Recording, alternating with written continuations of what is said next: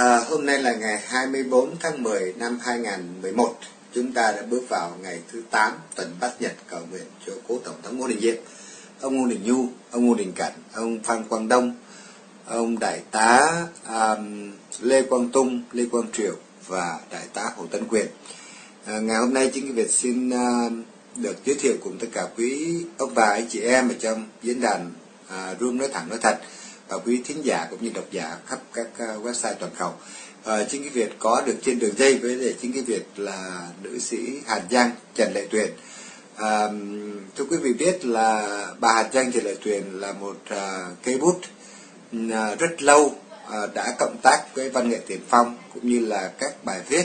ở trên các cái website hồn Việt à, cũng như là nhiều website khác cũng đã đăng những cái đăng tải những cái bài viết của bà À, đặc biệt bà là những nhân chứng sống ở trong cái thời kỳ mà à, phải nói là những biến cố quan trọng ở ngoài miền Trung mà bà ở Đà Nẵng thì phải nếu chính Việt không lầm vâng à, trước hết là xin à, mời à, bà Hàn Giang Trần Lệ Tuyền gửi lời chào đến quý ông bà anh chị à, em ở trong room cũng như là quý thính giả cũng như độc giả khắp nơi Vâng, tôi là Hàn Giang Trần Lệ Tuyền. Xin kính lời chào đến tất cả quý vị trên diễn đàn nói thẳng nói thật. Và xin chào ông Chính Khí Việt. Thứ đến, như quý vị đã biết qua những bài viết của tôi trên các website. Đúng như vậy, tôi là một người đã từng sống tại thành phố Đà Nẵng vào thời thơ ấu qua những biến cố mà tôi đã từng thuật.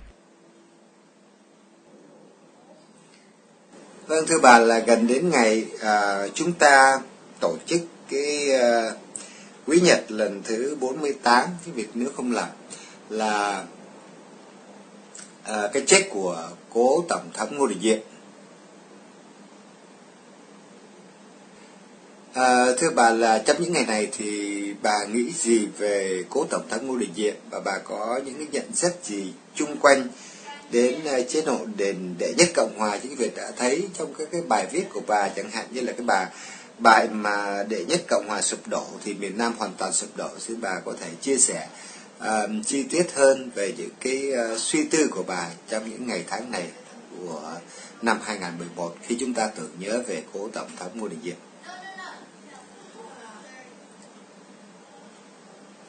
Kính thưa quý vị, khi nói về cố tổng thống Ngô Đình Diệm và nền đệ nhất Việt Nam Cộng Hòa thì chẳng phải riêng tôi mà tôi tin Chắc các vị đã từng sống vào thời kỳ đầu tiên của nền Cộng hòa do cố Tổng thống Ngô Đình Diệm đã khai sáng, đều đã chứng kiến được một nền tự do dân chủ, một đời sống thanh bình, mà một thời thế giới đã gọi thủ đô Sài Gòn là Hòn Ngọc, Viễn Đông. Và không phải hôm nay, mà hàng năm mỗi lần sắp đến ngày 1 tháng 11, tôi luôn luôn hồi tưởng về những năm tháng ấy. Cùng lúc với tất cả lòng thương tiếc cố Tổng thống Ngô Đình Diệm, ông cố vấn Ngô Đình Nhu, ông Ngô Đình Cẩn, cùng cố đại tá Lê Quang Tung và bảo đệ là thiếu tá Lê Quang Triệu, cố đại tá Hồ Tấn Quyền, ông Phan Quang Đông và các chiến sĩ đã xả thân vì lý tưởng quốc gia. À, câu hỏi một câu hỏi khác nữa chính cái Việt có ở trên uh, các cái um, Yahoo mà họ gửi riêng cho chính cái Việt là thưa bà là bà viết những cái bài chẳng hạn như là Mậu Thân 68 cũng như là bàn thờ Phật xuống đường 66 xin bà chia sẻ những cái uh, chi tiết quan trọng nào mà bà chưa có thể nói ra trong cái uh, phần mà bà viết về những cái uh, giai đoạn lịch sử đó. Uh, đặc biệt là giáo hội Phật giáo Việt Nam thống nhất đã gây ra khó khăn cho nền đệ nhất cộng hòa cũng như là gây khó khăn cho cả nền đệ nhị cộng hòa với cái chiêu bài là đấu tranh cho tôn giáo đấu tranh là đạo phật bị bắt hại đạo pháp lâm nguy vân vân. Xin bà có thể cho uh, diễn đàn cũng như là quý uh, vị thính giả cũng như độc giả khắp nơi uh, biết uh, sơ qua um, tất cả những gì bà hiểu biết uh, về những cái tài liệu mà bà đã đưa ra.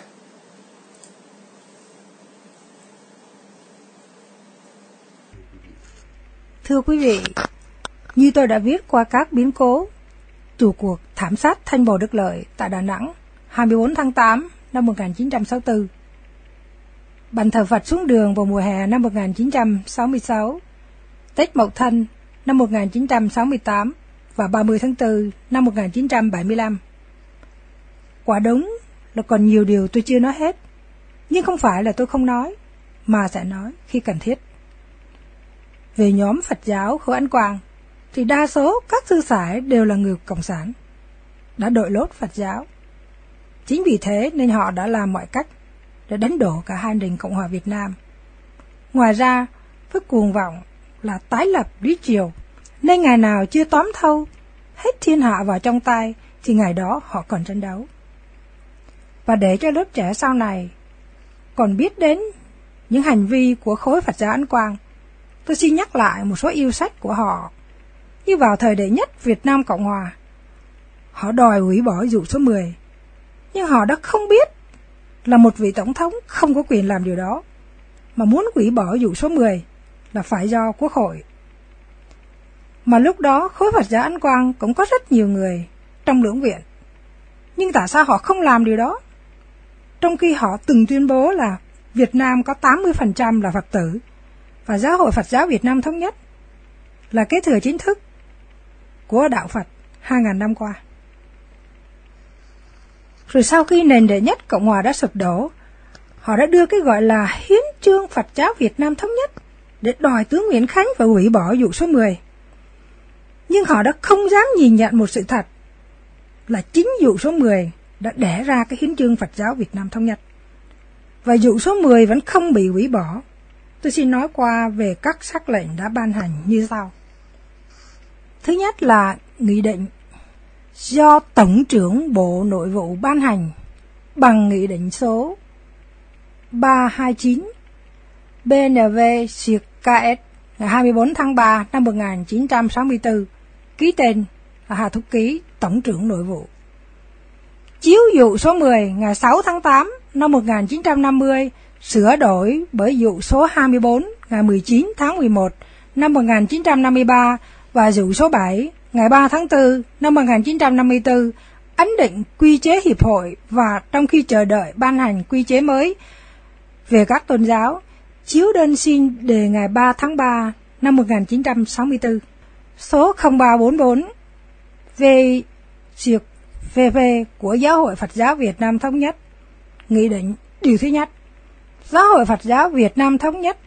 được phép thành lập trong khuôn khổ luật lệ hiện hành, ký tên Hà Thú Ký. Và đây là sắc lệnh của tướng Nguyễn Khánh. Việt Nam Cộng Hòa số 158 siệt SN siệt CV Chủ tịch Hội đồng Quân đội Cách mạng kiêm Thủ tướng Chính phủ chiếu dụ số 10 ngày 6 tháng 8 năm 1950 sắc lệnh điều 1 nay công nhận Giáo hội Phật giáo Việt Nam thống nhất cùng bản hiến chương ngày 4 tháng 11 năm 1964. Điều 5 dụ số 10 ngày 6 tháng 8 năm 1950 cùng các luật lệ trái với sắc lệnh này không áp dụng đối với Giáo hội Phật giáo Việt Nam Thống Nhất. Sài Gòn ngày 14 tháng 5 năm 1964, ký tên Nguyễn Khánh. Và sắc lệnh thứ ba, sắc luật số 023 xuyệt 67 ngày 18 tháng 7 năm 1967 chuẩn y hiến trương ngày 14 tháng 3 năm 1967 của Giáo hội Phật giáo Việt Nam Quốc tự và thu hồi hiến trương của Giáo hội Phật giáo Việt Nam thống nhất. Ký tên Nguyễn Cao Kỳ, Chủ tịch Ủy ban Hành pháp Trung ương. Như vậy, thứ nhất là nghị định do ông Hà Thúc ký. Thứ hai, sắc lệnh của tướng Nguyễn Khánh đều đề là chiếu dụ số 10 ngày 6 tháng 8 năm 1950. Nghĩa là dụ số 10 vẫn không bị hủy bỏ. Và dụ số 10 đã đẻ ra hiến trương của Phật giáo Việt Nam Thống Nhất. Sắc lệnh số 3 là do Nguyễn Cao Kỳ, Chủ tịch Ủy ban Hành pháp Trung ương, đã chuẩn y hiến trương ngày 14 tháng 3 năm 1967 của Giáo hội Việt Nam Quốc tự và thu hồi hiến trương của Giáo hội Phật giáo Việt Nam Thống Nhất. Kể từ đó, Giáo hội Phật giáo Việt Nam Thống Nhất đã hoạt động ngoài vòng pháp luật. Nhưng kể từ các tăng thống, cũng như những người đã và đang cầm đầu khối Phật giáo Ánh Quang, vẫn không dám nói ra điều này với các Phật tử. Nên nhân đây, tôi phải nói ra để cho quý vị Phật tử ở trong và ngoài nước đều được biết những sự thật này về cái gọi là hiến chương Giáo hội Phật giáo Việt Nam Thống Nhất do các nghị định và sắc lệnh chính thức từ dụ số 10 mà có.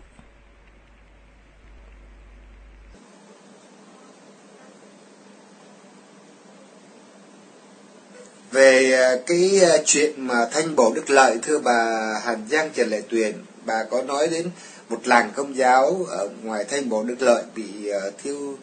bị bị đốt cháy và uh, những cái uh, xảy ra mà giữa cái đám mà lực lượng mà gia đình Phật tử cũng như là lực lượng uh, Phật tử quyết tử ở ngoài Đà Nẵng đã um, vây cái làng đó và đã làm thiệt hại một số những cái uh, vật chất cũng như là cái cái việc mà à, một cậu bé bị bắn chết à, hình như là nói cậu bé thì không đúng bởi bây giờ họ cũng đã lớn tuổi hơn chính cái việc rất là nhiều. Nhưng mà hồi lúc đó là khi à, ông chết thì ông mới có rất là nhỏ tuổi.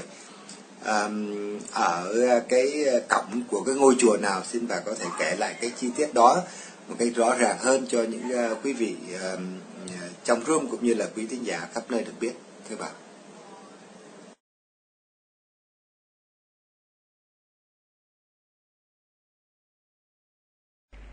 về cuộc thảm sát tại hai phường Thanh Bồ, Đức Lợi. Cuộc bạo loạn bằng thờ Phật xuống đường mùa hè năm 1966. Cả hai cuộc bạo loạn này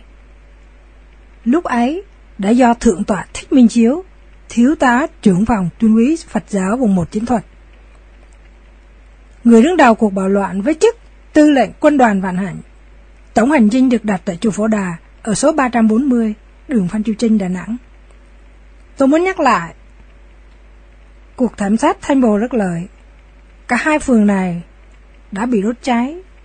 như tôi đã viết. Về một học sinh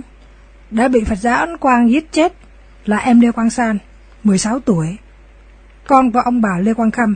đã bị đánh đập và bắn chết ở ngay cổng chùa Pháp Lâm tại số 500 đường ông Bách Khiêm, Đà Nẵng.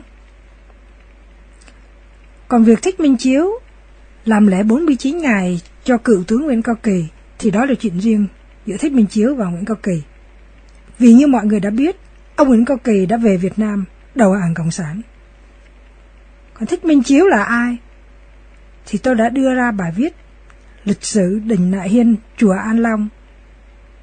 tại Đà Nẵng ở trong nước đã viết. Vì khó có thể nói hết, nên xin quý vị hãy đọc những bài viết ấy để biết thêm nhưng nếu muốn giải oan cho những người đã bị giết chết một cách oan uổng, thì chỉ một cách là phải nhờ đến ngọn đèn công lý để soi sáng cho hết sự thật. Vì đó là cách duy nhất để đòi công đạo cho các nạn nhân đáng thương và vô tội.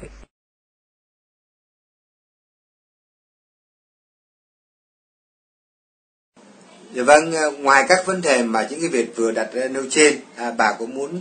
um, chia sẻ thêm về những cái đề tài nào bà muốn uh, nói nhân cái ngày mà chúng ta dỗ cố tổng thống ngô đình diệm ông ngô đình nhu cũng như là cả hai cái lá thơ mà bà gửi riêng cho chính cái việt à, cũng được đăng ở trên hồn việt đó là bà nhắc nhở chính cái việt trong việc mà trong cái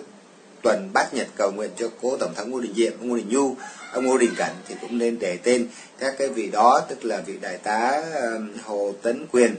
à, đại tá lê quang tung đại tá lê quang triệu và ông phan quang đông. À, xin bà chia sẻ những cảm nghĩ của bà cũng như là bà muốn chia sẻ thêm tất cả những điều gì mà bà muốn nói trong cái um, giờ sinh hoạt uh, cuối cùng của cái tuần bát nhật ngày hôm nay để chúng ta cầu nguyện cho tất cả những cái vị mà chúng ta đã um, đề cập ở phía bên trên thưa bạn điều cuối cùng những gì tôi muốn nói thì tôi đã nói vậy không gì hơn là tôi xin chân thành cảm ơn tất cả quý vị trên diễn đàn và ông chính khí Việt đã dành thời gian và theo dõi buổi nói chuyện của tôi. trên diễn đàn nói thẳng nói thật. Kính chào quý vị, kính chào ông Chính khí Việt.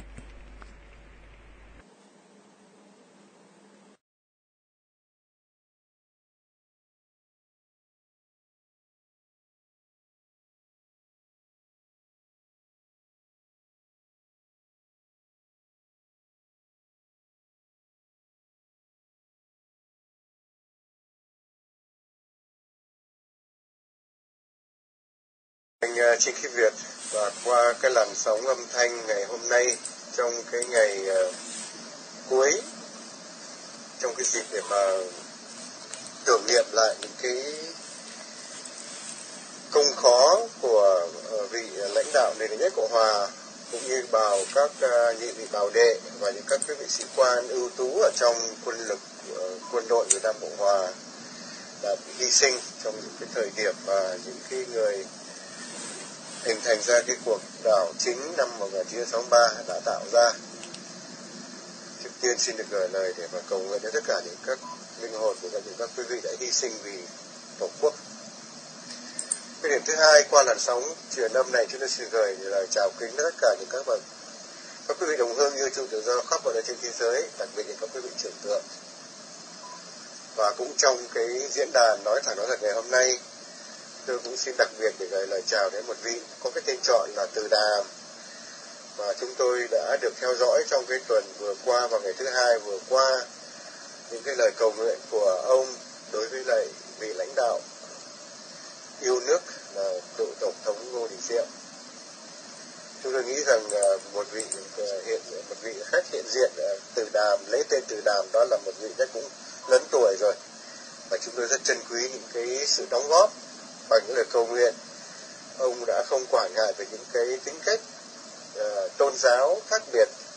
và đặt cái quyền lợi chung đối với lại dân tộc và đất nước lên trên. Thì tôi cảm tạ ông một vị khách có cái tên chọn là từ đà và một lần nữa xin gửi lời chào đến tất cả những các quý vị hiện diện trong diễn đàn những quý vị đã dày công sưu khảo tập giờ tuyển lựa chọn lựa những cái tài liệu để làm sáng tỏ một số những cái vấn đề mà người dân Việt Nam có thể đã không có theo dõi được và hiểu biết được hết cả cho nó rõ rệt. Cái gợi ý của anh chính cái việc liên quan tới trường hợp của ông Nguyễn Công Kỳ. Thì thực sự ra đây chúng tôi xin thưa rằng đây nó chỉ là một trong những cái điều giải đoán nó có tính cách cá nhân. Nó không dựa vào bất cứ những cái uh, điều gì của phe nhóm nào hết tất cả. Nhưng mà chúng ta nhìn lại cái lịch sử thì ta nhìn thấy là những cái diễn biến xảy ra sau năm 1963 khi mà nền đệ nhất cộng hòa bị sụp đổ do bởi những cái người mà họ tranh giành những cái quyền lợi Hoa Kỳ thì có quyền lợi của riêng Hoa Kỳ.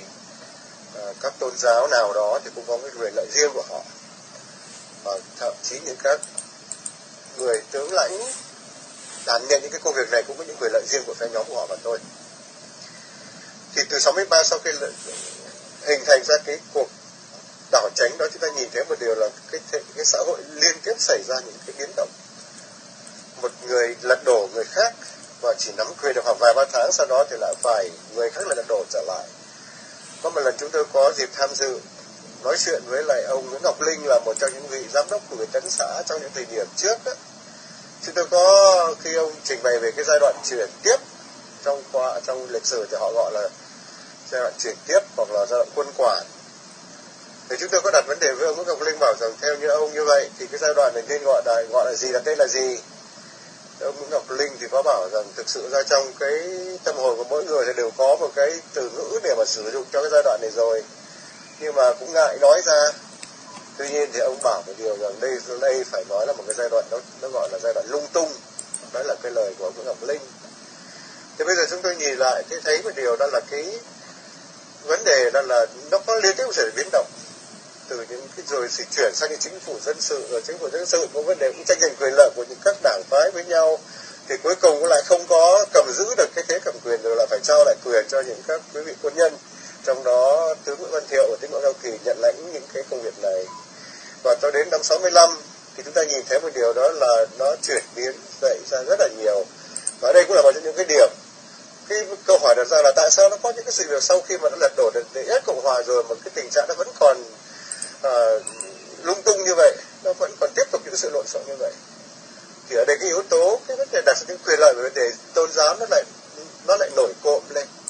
Và chính trong tinh thần này đó nhưng có cái vị tướng lãnh nhiều Nguyễn Cao Kỳ hoặc là Nguyễn Văn Thiệu đã cố gắng làm sao để có thể tạo ra một sự ổn định của xã hội. Bởi vì như chúng ta trình bày trong cái dịp thứ hai tuần trước đó là suốt từ năm 1954 đến năm 1963 thì gần như là nó không có những cái trận chiến nào lớn xảy ra trong xã hội Việt Nam, trong xã hội miền Nam Việt Nam với tất cả. Thì mãi cho đến khoảng gần cuối uh, năm 63 tức là khoảng chừng tháng qua khỏi tháng riêng tháng 2 thì cái trận ấp bắc mới xảy ra. Và suốt những năm cầm quyền của tổng thống uh, Ngô Đình Diệm thì nó phải cho đến khoảng gần cuối năm 60 trong năm 63 nó mới xảy ra một cái trận chiến lớn ở trận ấp bắc như vậy sau khi năm 1960 là mặt trận giải phóng miền Nam là ngoại vi của Việt Cộng hình thành ra để lấy một cái cớ để bảo rằng đây là những cái cuộc nổi dậy do chính người dân trong miền Nam nổi dậy mà thôi. Vấn đề chúng tôi đặt ra đó là cái sự việc nó liên tiếp xảy ra những cái sự biến loạn, tạo ra trong những cái xã hội nó bất ổn định và quân thù, tức là kẻ địch, tức là Việt Cộng đã sử dụng, lợi dụng, khai dụng những cái kẽ hở đó, khởi dựng giai đoạn mà biến loạn đó, và để mà họ về vấn quân sự. Nghĩa là họ tấn công đủ về mặt cả về chính trị, họ dùng tạo rối rối loạn ở tại hậu phương, tạo ra những cái điều kiện khó khăn cho quân đội ờ, của chính phủ Việt Nam Cộng Hòa ờ, làm những công việc tiểu trừ với để du kích hoặc là những cái trận chiến. Để rồi từ đó họ họ chiến dần và để cho tạo những cái sự khủng hoảng trong cái xã hội Việt Nam. Thì trong cái tinh thần mà cần thiết phải ổn định thì đây là một cái nét son. Chúng tôi xin thưa đây là một nét son của ờ, thời điểm ông Nguyễn Cao Kỳ. Mặc dù sau này chúng ta biết được rằng ông ta là một cái điều mà đã làm ra nhiều cái vấn đề nhiều những cái dữ kiện để tạo cho cái lực lượng người Việt thì đại cộng sản và nói một cái khác là đại quân thực Việt có nhiều những cái à, điểm mà mà chúng ta gọi là bất lợi. Chuyện đó chúng tôi không có bàn tới trong cái vấn đề mà cái gợi ý của anh chiến kỳ Việt. Thì chúng ta nhìn thấy một cái vấn đề rằng là ông Nguyễn Cao Kỳ là một người dứt khoát nhất trong cái công việc để gọi rằng là đặt cái tôn giáo ra khỏi ngoài những cái vấn đề điều hành đất nước. Tôn giáo là tôn giáo, còn vấn đề điều hành đất nước là điều hành đất nước. Tức là ông ta phân tách nó ra tách mạch nên là giữa cái thế quyền và cái thần quyền. Và cộng sản nó biết cái điều đó, cho nên là nó đã sử dụng cái thần quyền để nó khuấy động trong vấn đề thế quyền. Và cái ủy ban hành pháp và lập pháp quốc gia trong cái thời điểm đó là họ, đặc biệt là ông cao kỳ, có một cái quyết định rất là sáng suốt là tách mạch ra giữa cái thế quyền và thần quyền. Và trong cái tinh thần đó ông ta đã à, đưa ra ở ngoài miền Trung khi mà à, cái phong trào à, Phật giáo ấn quang chúng ta dùng cái điều nghĩa là cái phong trào Phật giáo ấn quang là về đây tiếng gọi chung thì ở đây chúng ta cũng xin lỗi các quý vị uh, hữu hoặc các quý vị uh, có thẩm quyền chức sắc ở trong trong giáo hội Phật giáo Việt Nam là chúng tôi luôn luôn đặt nặng những yếu tố là những cá nhân nào làm thì cá nhân đó chịu ngay cả những trường hợp của những vị đó là những vị chức sắc trong hàng ngũ uh, của Phật giáo. Nhưng khi chúng tôi đề cập đến chúng tôi đề cập đến từng cá nhân một đã vi phạm vào những cái công việc nào đó về vấn đề luật pháp của quốc gia thì họ phải bị trừng trị dựa vào các luật pháp của quốc gia. Còn những việc khác thì chúng tôi chúng tôi xin được không bàn tới. Và khi chúng tôi đề cập đến từng cá nhân của các quý vị lãnh đạo về Phật giáo trong giai đoạn năm 63 nói chung một cách một cách là biến động miền Trung năm 1966 và chúng tôi đã đề cập đến những yếu tố của những vị lãnh đạo đó đã bị cộng sản nó lợi dụng hoặc là hoặc là họ là làm việc các cộng sản. Dạ vâng giáo hội ấn quang vâng xin lỗi ông ờ, xin cảm ơn ông từ đạt và chúng tôi thì gọi chúng tôi gọi là giáo hội ấn quang vâng. Thì ông Nguyễn Cao Kỳ đã phải đưa quân của Trung ương ra sau một thời gian mà biến động miền Trung họ đã nổi loạn họ cướp cái thế cầm quyền ở miền Trung. Và chúng tôi được biết theo những tài liệu của một số nhà các quý vị thức giả đã viết ra đó thì à, khoảng hơn 4 tháng trời. Và trong cái thời gian đó thì chúng ta đã biết rằng họ bắt bớ những viên chức của của người Việt quốc gia và họ giam vào trong những cái trại trong những cái chùa và trong những cái khu vực của họ. Và họ đối xử với cái người Việt quốc gia những vị lãnh đạo hoặc là những các vị làm việc cho chính phủ người Việt quốc gia ở ngoài miền Trung ở vùng Đà Nẵng trong thời điểm nó rất là khắt khe phải nói là tàn nhẫn. Và sau khi mà có những cái sự dàn xếp của ông tướng Nguyễn Cao Kỳ à, và đặc biệt là đã cử một vị tướng là ông Nguyễn Ngọc Loan ra ngoài miền Trung làm công việc này sau khi đã cử một số những các vị tướng khác nhưng không thành công. Và sau khi ông Nguyễn ông tướng Ngọc Loan ra ngoài miền Trung thì cái vấn đề đó nó được tạm yên. Thế đây là một cái điểm mà chúng ta nghĩ một điều rằng là sau này khi ông ta qua đời đó thì những cái những cái ngôi chùa để mà cử hành những cái nghi thức vấn đề để vấn đề mà cho người đã chết đó, thì chúng tôi nghĩ tới một cái điểm là đây là hầu hết những cái, cái cái hệ thống của những ngôi chùa đó là nằm trong cái khối của giáo hội ấn quang và từ đó cho nên là họ từ chối họ từ chối làm cái công việc ma chay hoặc là tụng niệm cho ông học Kỳ. Trong những người chùa đó là bởi đít thôi họ trực thuộc khối qua và họ trả thù lại trong những cái đợt mà ông đã ra lệnh uh, làm cái công việc này. Thì vâng thưa cảm ơn ông Tử Đàm đã có xác định là cái điểm mà chúng tôi trình bày đó là việc rất là đúng. Ông là một vị mà như chúng tôi được biết uh, là ông cũng đã tiếp cận rất gần uh, rất gần ông uh, Ờ, uh, trí quang chúng tôi không dám dùng cái từ ngữ thượng tọa hay là hòa thượng là vì thực sự ra đây đây chúng ta biết chắc là một một một người mà đã bị uh, một là cộng sản lợi dụng hai là uh, nói ra rõ hơn là có thể đã đã làm việc cho nhà cầm cho cho cho cho đảng Việt Cộng. Thì cái lời ý của anh chính khí Việt thì tôi xin được chúng tôi xin được uh, khai triển đó là như vậy. Vâng xin trả minh câu lại cho anh chính khí Việt ạ.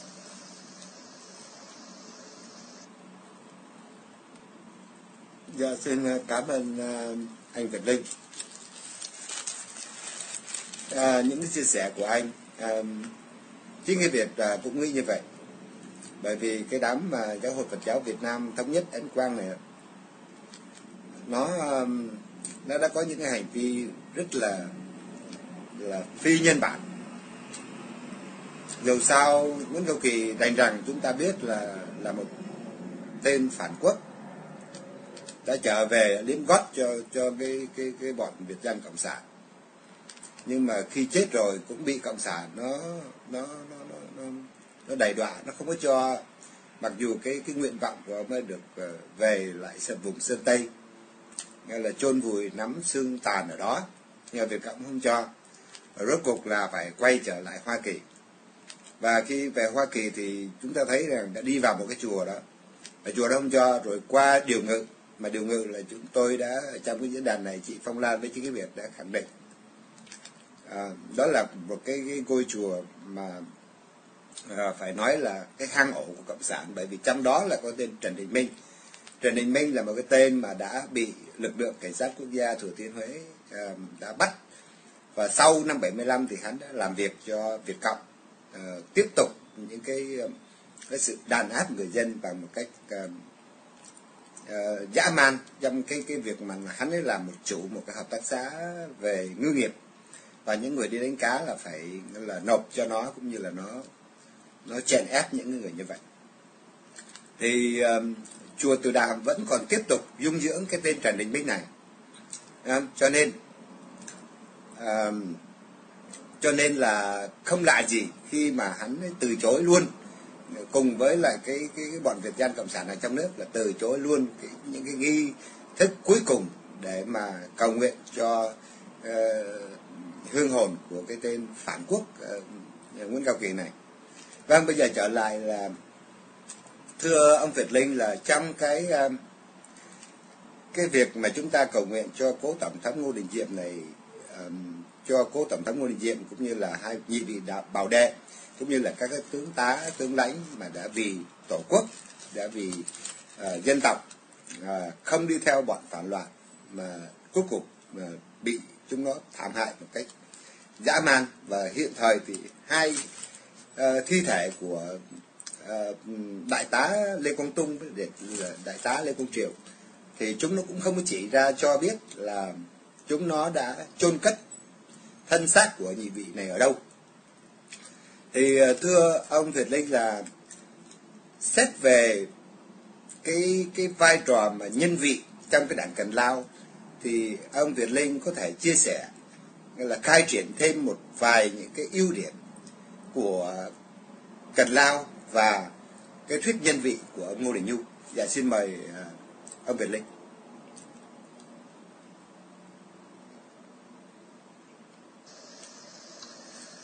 Dạ vâng, cảm ơn anh à, Chính Phi Việt à, đã có gợi ý trong cái vấn đề à, cái ờ, tư tưởng về nhân vị. Điều mà những cái nguồn tài liệu đưa ra thì người thì bảo đấy là của ông Ngô Đình Nhu, người thì lại đưa ra vấn đề để bảo đấy là do của của cố tổng thống Ngô Đình Diệm, rồi thì lại một số những cái nguồn Ờ, tham khảo khác thì lại cho rằng đấy là những cái sự du nhập ờ, từ những cái nguồn tư tưởng của nước ngoài đem vào và ông Ngô Đình Nhu chỉ là cái người mà lập lại những cái nguồn tư tưởng đó mà thôi. Đấy là cái nội dung mà chúng tôi được theo dõi một số những cái tài liệu ở trên cái mạng lưới toàn cầu. Uh, cũng nhiều lắm thưa anh chính cái việc là những cái nguồn tài liệu đó được phổ biến do bởi nhiều những các quý vị viết và tung lên trên mạng lưới toàn cầu. Trong đó có một số những cái bài viết tương đối kỹ hơn đó là của ông Lê Xuân Nhân ở đây chúng ta xin được uh, thấy có anh uh, tác giả Liên Thành là một tác giả trong cái hai cái tập sách biến động miền Trung và thảm sát mộ Tân Huế đang hiện diện trong diễn đàn này. Uh, xin được gửi lời chào đến tác giả Liên Thành. Uh, xin được uh, trở lại cái uh, vấn đề mà anh uh, chính cái việc có đề cập tới đó thì chúng tôi xin thưa như thế này. Cái điều đầu tiên chúng ta thử xem một điều xem là, là những cái nguồn tư tưởng của đông phương hoặc là của bên tây phương nó có những cái sự nào hòa trộn hoặc nó có sự tương tương trợ hoặc là giao thoa với nhau không hay là không? Đó là một cái điều mà chúng ta nghĩ rằng chúng ta cần thiết phải nhìn tới đầu tiên. Là vì những cái tư tưởng của nhân loại nói chung cho đến bây giờ đã qua những cái vấn đề phương tiện truyền thông nó rộng rãi rồi chúng ta nhìn thấy một điều rằng là ông tây phương này cũng có những cái tư tưởng cũng na ná giống như một vài những ông đông phương chẳng hạn. Thì đấy là cái điều để mà cho chúng ta nhìn lại xem một điều là những cái sự việc mà giao thoa giữa những cái nền tư tưởng nền văn hóa của đông tây phương và đông phương nó có những cái sự giao thoa à, hay là không? Và nếu nó có thì nó qua những cái diễn tiến như thế nào? À, chúng ta tìm lại những cái quan điểm đó để chúng ta sẽ nhìn ra được những cái vấn đề về cái quan niệm tư tưởng của những các chế độ cầm quyền ở trong của người Việt quốc gia của chúng ta. Thứ như là nền thứ nhất cộng hòa nền cộng hòa thì chúng ta sẽ nhìn ra được những cái điểm sáng. Chúng ta cũng dựa vào một số những cái tài liệu được phổ biến rộng rãi ở trên mạng lưới toàn cầu. Trong đó có một số những cái bài viết của tác giả là ông ờ, ông Lê Việt Thường. Ông Lê Việt Thường ông ấy ờ, có được cái sự việc mà uh, Ờ, viết những cái tài liệu đi vào sự tham khảo uh, giữa những vấn đề ờ, uh, luồng tư tưởng của đông phương và tây phương giao thoa qua một cái tiến trình như thế nào. Cái tài liệu của ông nói tính cách rút gọn cho nên là chúng tôi sẽ được sử dụng cái tài liệu của ông Lê Việt Thường đó để mà trình bày với quý vị về những sự giao thoa giữa những tư tưởng của Đông Phương và Tây Phương. Cái điều mà có rất nhiều những các học giả của người Việt thường hay quan niệm là tất cả những cái điều gì của người Việt nghĩ sau này suy tư sau này thí dụ về dân chủ chẳng hạn à, hoặc là một vài những cái à, tính cách xem người dân làm trọng hoặc là xem người dân là những cái vấn đề cần thiết để phải giải quyết để phải nhìn tới để phải quan tâm tới thì họ thường hay cho rằng đấy là những cái tư tưởng uh, dân chủ có uh, có từ ở bên tây phương hoặc xuất phát từ bảy tây phương. Nhưng mà thực sự ra đó dựa vào những cái tài liệu của tác giả lê việt thường được tổng quát hóa thì chúng tôi xin được trình ra à, nó có những cái tiến trình để mà chúng ta nhìn thấy một điều là những cái tư tưởng của tây phương mà chúng ta xem tưởng rằng là sau những thời cách mạng ờ, của pháp, của mỹ ờ, ờ, về dân chủ đó, thì từ đó nó mới tạo ra những cái dân, tư tưởng về dân chủ và từ những tư tưởng dân chủ đó nó mới lại quay ngược trở về đông phương. Thì thực sự ra theo như ông lê văn thường đã nhìn và theo như những cái tiến trình về những cái luồng tư tưởng của nhân loại thì ở đây chúng ta đã nhìn thấy một điều rằng nó không phải là như vậy thì chúng tôi xin được dùng một số những cái tài liệu mà ông ta cho biết như sau. Là một triết gia có tên là Lenson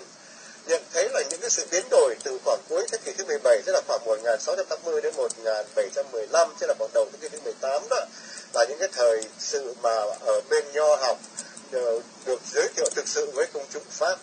Và cái bản dịch về nho học đầu tiên xuất hiện đã vào năm 1682 và nhiều bản dịch khác tiếp theo mấy chục năm sau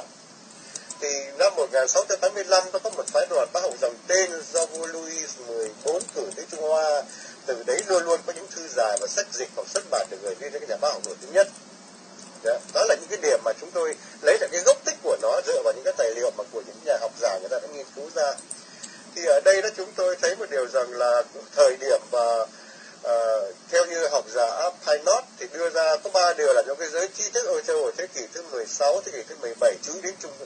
chú ý đến Trung Hoa. Đây chúng tôi dùng cái từ ngữ Trung Hoa mà chúng ta không dùng cái từ ngữ là tàu cộng hoặc là Trung cộng. À, bởi lý do là vì trong cái thời điểm đó là thực, thực sự là thì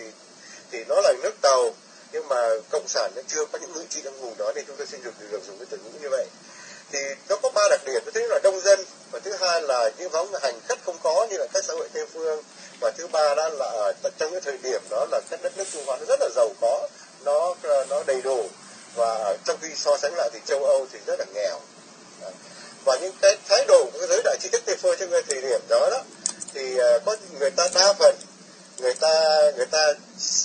xem về và người ta à, cảm nhận được một điều là người ta rất là phục những cái tư luồng tư tưởng của bên à, Trung Hoa. Từ những cái quan niệm của ông Voltaire rồi cho đến những cái nhóm tư tưởng gia khác thì người ta đều xem một điều rằng là những cái hệ thống tư tưởng và những cách thức dạy học uh, tuyển người ở bên Trung Hoa là những điểm sáng mà họ cần thiết phải noi theo. Và và từ đó đó và từ đó đó người ta uh, đi tới những cái vấn đề là như chúng tôi trình bày là qua một số những các tu sĩ dòng tên và qua uh, uh, qua qua được Trung Hoa và từ đó những cái tài liệu của Trung Hoa được gửi về đều đặn ở bên nước Pháp thì ở từ đây người ta mới nhìn thấy một điều rằng vậy thì những cái tư tưởng của các giới chức địa phương nó có từ đâu và nó có từ từ thời điểm nào. Thì như chúng tôi trình bày là nền dân chủ tây phương từ xưa người ta nghĩ là khởi đầu từ hy lạp rồi ma rồi la mã. Nhưng mà sau đó cho đến thấy những nền tư tưởng nó có chỉ có tính cách tạm thời. Và khi mà la mã là trở thành à, để đi đến những cái thể chế độc tài đi cướp một số những vùng đất khác thì nó trở thành đế quốc rồi. Thì ở đây cái chuyện mà người ta đưa tới đó là ông ta phân biệt ra dưới những cái thế kỷ à, ánh sáng thì ông ta đưa ra những cái nhà triết gia trong những hệ thống tư tưởng đó như là ông Locke ờ, ông ấy quan niệm chủ quyền không được về nhà nước mà về người dân và quyền hành của nhà nước à, bị ràng buộc bởi luật tự nhiên hay dân luật. Để thì những cái luồng tư tưởng đó thì đều do những cái tư tưởng của các tây phương người ta nghĩ tới về đề dân chủ từ ông Locke tới Voltaire tới Montesquieu, Rousseau rồi Mỹ để có Franklin rồi Jefferson thì bây giờ người ta xem một điều rằng là họ đã cái, cái tư tưởng của của của Trung Hoa trong thời điểm đó nó thay đổi cái sự suy nghĩ trong xã hội như thế nào. Thì dựa vào cái tài liệu của ông Lenin ông ấy đưa ra có 6 điểm đặc biệt để mà thay đổi như sau. Tức là nhu yếu suy tư một cách rõ ràng mạch lạc căn cứ cho sự kiện và kinh nghiệm chống với thiên kiến hay quyền lực tức là chỉ tìm về chân lý vì chân lý. Rồi thì uh, những cái vấn đề khác là nó có 6 điểm. Ở đây chúng tôi tại vì chúng tôi muốn dẫn nhập tới một cái điểm là cái sự du nhập của xã hội nho học nó vào trong xã hội tây phương nó nó từ ở bởi bên uh, bên uh, trung hoa được chuyển qua tây phương. Và chính cái tây phương đó họ kiện toàn họ họ họ uh, uh, hệ thống hóa nó. Để rồi từ đó đó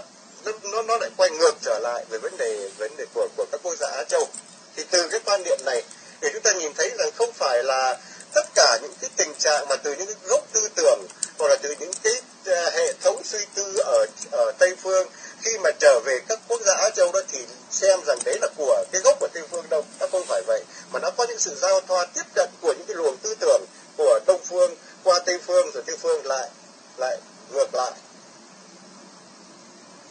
À, thì tới đây chúng tôi mới nhìn lại mới nhìn lại xem cái rằng rằng cái người dân Việt của chúng ta nghĩ gì và à, và dự và có những cái suy tư như thế nào trong cuộc sống trước đây trong cái thời ngày hôm thứ hai chúng tôi có trình bày một cách nó sơ lược qua về những cái uh, nguyên tắc để mà tìm hiểu về vấn đề văn học sử văn hóa sử hoặc là những cái uh, lịch sử. Tôi xin được tóm gọn qua thì lịch sử nó có những cái cách viết của nó bằng qua cái lối sử biên niên uh, tức là lấy niên đại lấy ngày tháng làm chính yếu hoặc là lối sử viết theo lối kể chuyện là viết theo từng câu chuyện một rạch ròi phân tích nó tỉ mỉ hơn. Thì những cái điều đó nó tạo cho chúng ta có một cái nhìn là đất nước Việt Nam của chúng ta đó dựa vào cái sinh hoạt của những cái à, của những cái của, của của những cái cổ thư của huyền sử hoặc là của chính sử hoặc là của di tích lịch sử dựa vào những cái cách sống của người dân trong cái thời điểm mà trước đây vài chục ngàn năm trước hoặc là vài ngàn năm vài ngàn năm trước chẳng hạn thì chúng ta nhìn thấy một điều rằng là cái cách sống của người Việt chúng ta dựa trên cái sự canh nông, canh tác, tức là nông nghiệp và chăn nuôi. Nó có hai cái gốc của cái nguồn văn minh của nhân loại. Nó có thể nó có chia ra nhiều những cái hệ nhánh, nhưng mà cái gốc để để mà tóm lại, để mà nhìn tổng quát lại, thì chúng ta thấy nó có hai cái gốc chính, đó là du mục và nông nghiệp. Thì du mục là bởi lý do nó phải dày đây may đó để mà tìm cách sống. Thì cái nhu cầu tồn tại của du mục nó nó đòi hỏi nó phải có cái kỷ luật sức mạnh và nó xem thường những sức lực của người yếu. Đó, nó chỉ sử dụng những cái sức mạnh và từ đó nó đi tới một cái luồng văn hóa của dung mục đặc thù. Mạnh được yếu thua luật rừng như là mạnh được yếu thua hoặc là cá lớn muốn cá bé luật biển phải như vậy. Riêng về vấn đề nông nghiệp thì nó đòi hỏi là phải có định cư lại. Mà muốn định cư lại để trồng trồng trọt chăn nuôi thì phải biết nhìn vào cái khí hậu để mà dựa vào đó để mà tồn tại để mà sinh sống. Thì từ khi mà người ta biết dựa vào người ta biết dồn dồn uh, uh, dừng chân tại một chỗ thì phải biết ngư vào thiên nhiên và từ đó những cái linh động trong cuộc sống nó đã hình thành. Và khi linh động trong cuộc sống được hình thành để đi đến những cái sự việc để mà phải làm những công việc đồng áng chăn nuôi ờ, cày cấy chẳng hạn thì từ đó chúng ta nhìn thấy cái nhân lực trong một cái xã hội định cư nông nghiệp nó đã không quá khắt khe nó đòi hỏi cái sức mạnh như là của du mục. Và từ đó đó cái giá trị của con người nó không còn phải đặt trên cái sức mạnh hoàn toàn mà nó còn đặt trên cái trách nhiệm và đặt trên cái, cái sự phải góp sức vào trong cái sinh hoạt của cái xã hội. Đó chúng tôi thí dụ như là ca dao tục ngữ việt nam có câu là trồng cày vợ cấy con câu chẳng hạn. Nó đã thể hiện cái tinh thần phân công phân nhiệm cái rõ ràng trong một gia đình của người của một người sống ở trong cái vùng ờ, để sống về nông nghiệp định cư chăn nuôi. Thì người trẻ đó thì có cái sức khỏe yếu hơn thì làm cái việc nhẹ nhàng hơn như, như là đi câu chẳng hạn hoặc là người vợ, người phái nữ có những cái sức khỏe nó yếu, cũng không có làm được nặng nhọc được như người phái nam, thì họ có thể họ ờ, gieo mạ hoặc là họ cấy, hoặc là họ trồng trọt, hoặc là thậm chí họ chăn nuôi ở trong nhà. Còn thì người phái nam mạnh hơn thì phải có cái sức để mà làm, thì làm cái việc nặng nặng nhọc hơn. Thì từ đó cái tinh thần phân công phân nhiệm nó được thể hiện một cái rõ ràng ở trong cái sinh hoạt của định cư nông nghiệp. Điểm mà chúng tôi đề cập tới đó là cái nền văn hóa định cư nó tạo ra cái khối nhân lực đó rất cần trong cái sinh hoạt đồng áng. Là vì không thể nào làm một cái việc đồng áng mà chỉ có một người làm được. Mà cũng không phải bảo rằng khỏe hoàn toàn, cũng chưa hẳn là phải là làm hoàn toàn. Mà nó cần ra sức bền bỉ. Từ đó những cái mức độ nhân lực cần thiết phải sử dụng. Và khi mà cần thiết sử dụng nhân lực thì người ta trọng từng con người một. Cho nên rằng người Việt Nam chúng ta thường hay có những cái câu mà chúc nhau là phải có đông con, sanh con, đẻ cái được đông đảo là bởi từ những cái quan niệm cần về nhân lực khi cần về nhân lực thì họ xem con người làm trọng. Họ không có đàn áp con người một cách thái quá, hoặc là họ tôn trọng những cái quyền sống, những cái cuộc sống của con người. Và cũng chính vì điều đó mà quý vị cũng đã từng thấy một điều vào khoảng cuối thế kỷ thứ 15 cái bộ luật Hồng Đức đó là cũng cùng cái thời điểm đó thì những cái bộ luật mà nó liên quan tới cái quyền lợi của con người là cái quyền sống của con người, phải nói là nó không có được đầy đủ, nó không có được nhiều. Và nó một cái khác là nó chưa được tôn trọng đúng mức, nếu so sánh cùng thời với cái luật hồng đức vào cuối thế kỷ 15 của của của người Việt của chúng ta. Trong cái bộ luật hồng đức đó, nó bao gồm đầy đủ những cái điều khoản để mà bảo vệ được cho những người phái nữ, cho những bậc trẻ, cho những người Ờ, uh, cao niên cho những người người phái nam. Tức là phái tính uh, và cái tuổi tác đầy, đầy đủ để bảo vệ tất cả. Cùng thời đó ở những cái xứ tàu nó không hề có những cái luật mà bảo vệ được cho người phụ nữ. Ở xứ tây phương của vậy nó không có những cái luật nào nó bảo vệ đầy đủ cho người phụ nữ tất cả. Nhưng mà ngược lại bộ luật hồng đức đã bảo vệ những cái quyền lợi cho người phụ nữ. Từ lúc họ còn ở trong gia đình bố với bố mẹ cho đến khi mà họ, họ lập gia đình để mà theo về nhà chồng họ vẫn có cái quyền hưởng tài sản của bên nhà chồng. Ờ, chúng ở đây chúng ta không khai triển rộng về các bộ luật hồng đức để mà chi tiết. Nhưng mà chúng tôi xem một điều rằng là cái luật giấy tờ văn kiện, tài liệu mà nó có hình thành là do bởi những nhu cầu tồn tại của nó được truyền lưu và cái cách sống của họ đã được thể hiện từ những giai đoạn trước. Và khi mà họ kiện toàn nếu mà bộ luật hồng đức được kiện toàn từ thế kỷ thứ 15 thì trước đó khoảng chừng vài trăm năm đã có những nhu cầu cần thiết để phải sống như vậy và đã phải có những nhu cầu để cần thiết phải giải quyết như vậy. Tại vì như tôi có gì tôi trình bày là khi có nhu cầu tồn tại của con người thì vấn đề được đặt ra là có những cái điều khoản để quy định để bảo vệ cho các quyền sống của con người. Thì luật hồng đức có thể cái điểm đó. Có nghĩa là nếu luật hồng đức được ban hành vào vào năm, vào khoảng cuối thế kỷ thứ 15 thì những cái nhu cầu cuộc sống nó có xảy ra trước là vài trăm năm trước từ khoảng thế kỷ thứ 10 thứ 11 thứ 12 chẳng hạn. Và trước lúc đó nữa về những cái vụ vấn đề mà định cư về nông nghiệp chăn nuôi thì cái uh, cuộc sống của con người nó cũng đòi hỏi là nhân lực để cùng hợp sức để làm việc. Thì điều đó nó đi đến một cái yếu tố là là văn minh nông nghiệp văn minh định cư là một cái văn minh tôn trọng cái cuộc sống của con người tôn trọng giá trị của con người và từ đó nảy sinh ra hầu hết tất cả những cái xứ nông nghiệp đặc biệt là lạc việt là nằm trong khối bách việt sau khi đã bị uh, lấn chiếm từ ở những cái vùng ờ, vùng vùng vùng đất tàu hiện nay họ phải lùi dần trở về cái vùng phát xuất là vùng hòa bình bắc việt. Thì từ đó đó họ à, vẫn có một cái giá trị là xem con người làm trọng. Điều mà trong cái nền văn hóa truyền thống của Việt Nam chúng ta thường hay bảo đó là cái nền văn hóa nền văn minh nhân bản tức là lấy con người làm bản vị làm quan trọng và cư xử với nhau qua cái tính của con người mà mà chúng ta gọi là nhân tính. Thì điều đó nó có nghĩa là gì? Nó có nghĩa là con người là một cái thực thể cần thiết sống trong một cái xã hội đó và con người là một trong những cái yếu tố để hình thành một cái xã hội à, định cư nông nghiệp. Họ dựa vào thiên nhiên họ nương vào thiên nhiên. Một là họ họ họ, họ phù hợp với thiên nhiên để họ sống. Hai đó là họ phải biết dựa vào thiên nhiên để họ tồn tại và từ đó chúng ta nhìn thấy một điều là cái giá trị con người được nâng cao trong cái xã hội Việt Nam. Cho nên rằng, từ đó cái tư tưởng để tôn trọng con người, xử với nhau có cái tính của con người, nó không phải như là cái tính của du mục và nó không phải những cái tính sau này mà chúng ta thấy thể hiện qua những cái sự mà chiếm đoạt, dùng sức mạnh giống như cộng sản, giống như về cộng bây giờ nó áp dụng thì chúng ta đã nhìn thấy là những cái sức mạnh nó nó đã tiêu diệt con người. Thì cái giá trị của cái văn hóa xem trọng, xem con người làm trọng.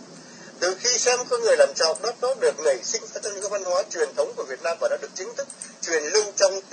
của dân gian của của của của xã hội Việt Nam thì như vậy có nghĩa là gì có nghĩa là con người có một cái vị thế có một cái ngôi có một cái thế đứng có một cái chỗ đứng giá trị trong cái xã hội sinh hoạt của của con người trong nước Việt thì như vậy chúng ta nhìn thấy một điều rằng là co là khi được truyền lưu lại mọi người đều mọi người đều áp dụng nó và mọi người đều tôn trọng nó thì điều đó nó có nghĩa là cái giá trị của con người và xem con người làm trọng đó nó là một cái văn hóa gốc bản địa nó gọi là văn minh bản địa chứ nó không phải là một sự du nhập từ bất cứ ở một quốc gia nào khác hoặc nó là cái khác và như chúng tôi trình bày giữa những cái sự giao thoa về những cái luồng tư tưởng của cho con người đó thì những cái sự giao thoa đó nó có thể truyền sang bên uh, các quốc gia tây phương khác Âu Châu trong thời điểm đó chẳng hạn và ngược lại từ những quốc gia đó nó hình thành cái cuộc cách mạng 1789 1776 của Mỹ của Pháp à, thì từ đó nó mới nó mới lại dồn sau khi nó kiện tần hóa thêm qua những cái kinh nghiệm trải dài qua những cái mà, điều mà họ đã thực hiện những cuộc cách mạng à, thì họ lại quay ngược trở lại đối với lại xã hội Á Đông sau này cho nên điều mà chúng tôi xin thưa là cái quan niệm xem con người làm trọng và cư xử với nhau qua cái tính của con người đó là một cái văn hóa bản địa của trong cái xã hội Việt Nam à, là một cái xã hội tổ, uh, định cư nông nghiệp và chăn nuôi cho nên rằng những cái tư tưởng để bảo rằng là Ờ, cái sinh hoạt để xem trọng con người nhân bản hoặc là cư xử với nhau, lấy cái tính của con người làm làm làm cái cách thức để cư xử với nhau đó. Mà xem rằng đó là cái sự du nhập từ ngoại quốc thì chúng tôi xin thưa là nó hoàn toàn nó không có những cái uh, cơ sở uh, uh, rõ rệt để mà có thể lập luận là như vậy thì khi mà chúng ta xem một điều rằng xem con người làm chồng con người có một vị thế trong xã hội thì như ông Ngô Đình Nhu và hoặc như ông Ngô Đình Diệm bất cứ một cái người Việt nào chẳng phải riêng gì hai vị lãnh đạo này là khi họ áp dụng những cái luồng tư tưởng của cha ông của tiền nhân để lại thì cái điều đó nó có chất là nó có chất đương nhiên mà thôi cái luồng tư tưởng đó nó nó tràn giải ra trong dân gian và dân gian sử dụng với nhau qua những cái luồng tư tưởng đó cái quan trọng là áp dụng cái luồng tư tưởng đó đi vào cái hành động lý thuyết có đi đến cái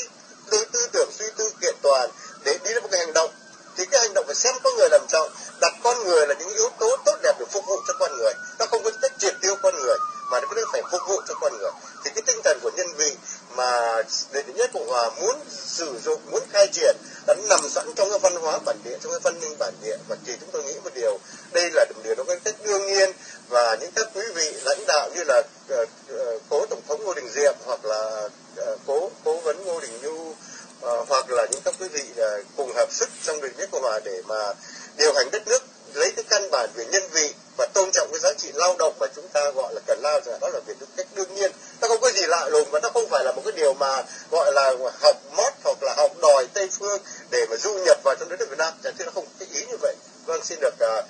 uh, đấy là một số những cái điểm mà chúng tôi xin được uh, khai triển nó uh, khi cái gợi ý của anh chị Việt đưa ra. Uh, vâng xin được uh, uh, chúng tôi cũng mong muốn được nếu quý vị nào nếu có được thêm những cái ý kiến nào thêm về những cái điều mà chúng tôi vừa trình bày thì xin cứ vui lòng có thể cho chúng tôi được hỏi thêm.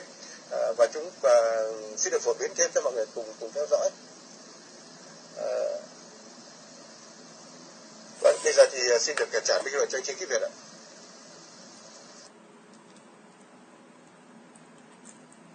Dạ vâng, à, xin à, cảm ơn anh Việt Linh. Thì à, cái thuyết nhân vị đó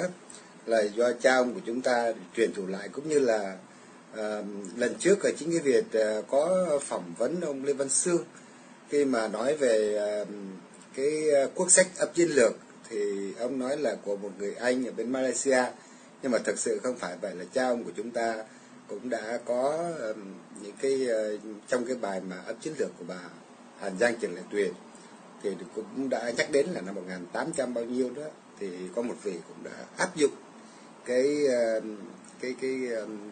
cái chiến lược này để mà đối phó với lại cái ờ, giặc thời bây giờ. Vậy là những cái gì mà của cố tổng thống ngô đình diệm cũng như là ông ngô đình du dựa căn bản, tại vì ông ngô đình diệm, ông ngô đình du là xuất phát từ một một gia đình nho giáo mà rất là lễ nghi phải không thưa quý ờ, ông bà và anh chị đang có mặt ở trong room. Và ngày hôm nay là chúng ta bước qua cái ngày thứ 8 để cầu nguyện cho uh, những uh, vị đó uh, những vị mà uh, phải nói là yêu nước đó ái quốc mà chúng ta thấy rằng thì là từ đó đến giờ chưa có một người nào trong cái hoàn cảnh khó khăn như vậy của đất nước như thế mà leo lái được cái cuộc uh, đấu tranh cũng như là uh, giành lại độc lập và không có lệ thuộc vào ngoại bang như thế và đã dám trả thời thẳng ờ, không những với lại cái tên mà là tội đồ của dân tộc là Hồ Chí Minh mà còn uh, như là trả lời thẳng với lại uh, những cái uh, vị đại sứ của Hoa Kỳ cũng như là những cái tên CA của Hoa Kỳ. Vâng, bây giờ chính Việt thấy bàn tay của anh Lý Tín, hãy xin mời anh Lý Tín.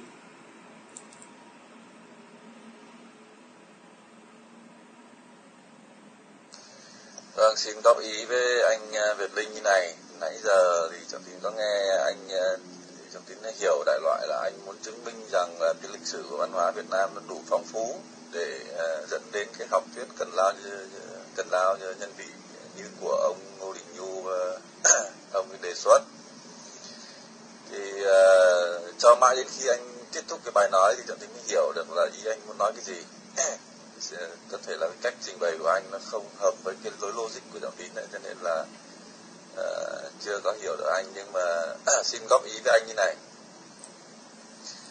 là theo như những cái gì mà trọng tín được biết từ, từ chính tay tác giả của ông ngô đình nhu ông viết ấy, thì ông ngô đình nhu không phải là cái người mà ưa cái chuyện hàn lâm không? ông ấy không có tranh cãi lý thuyết và ông ấy cũng không có cái Ờ, ý đồ là muốn thiết lập ra một cái chủ nghĩa nào cả.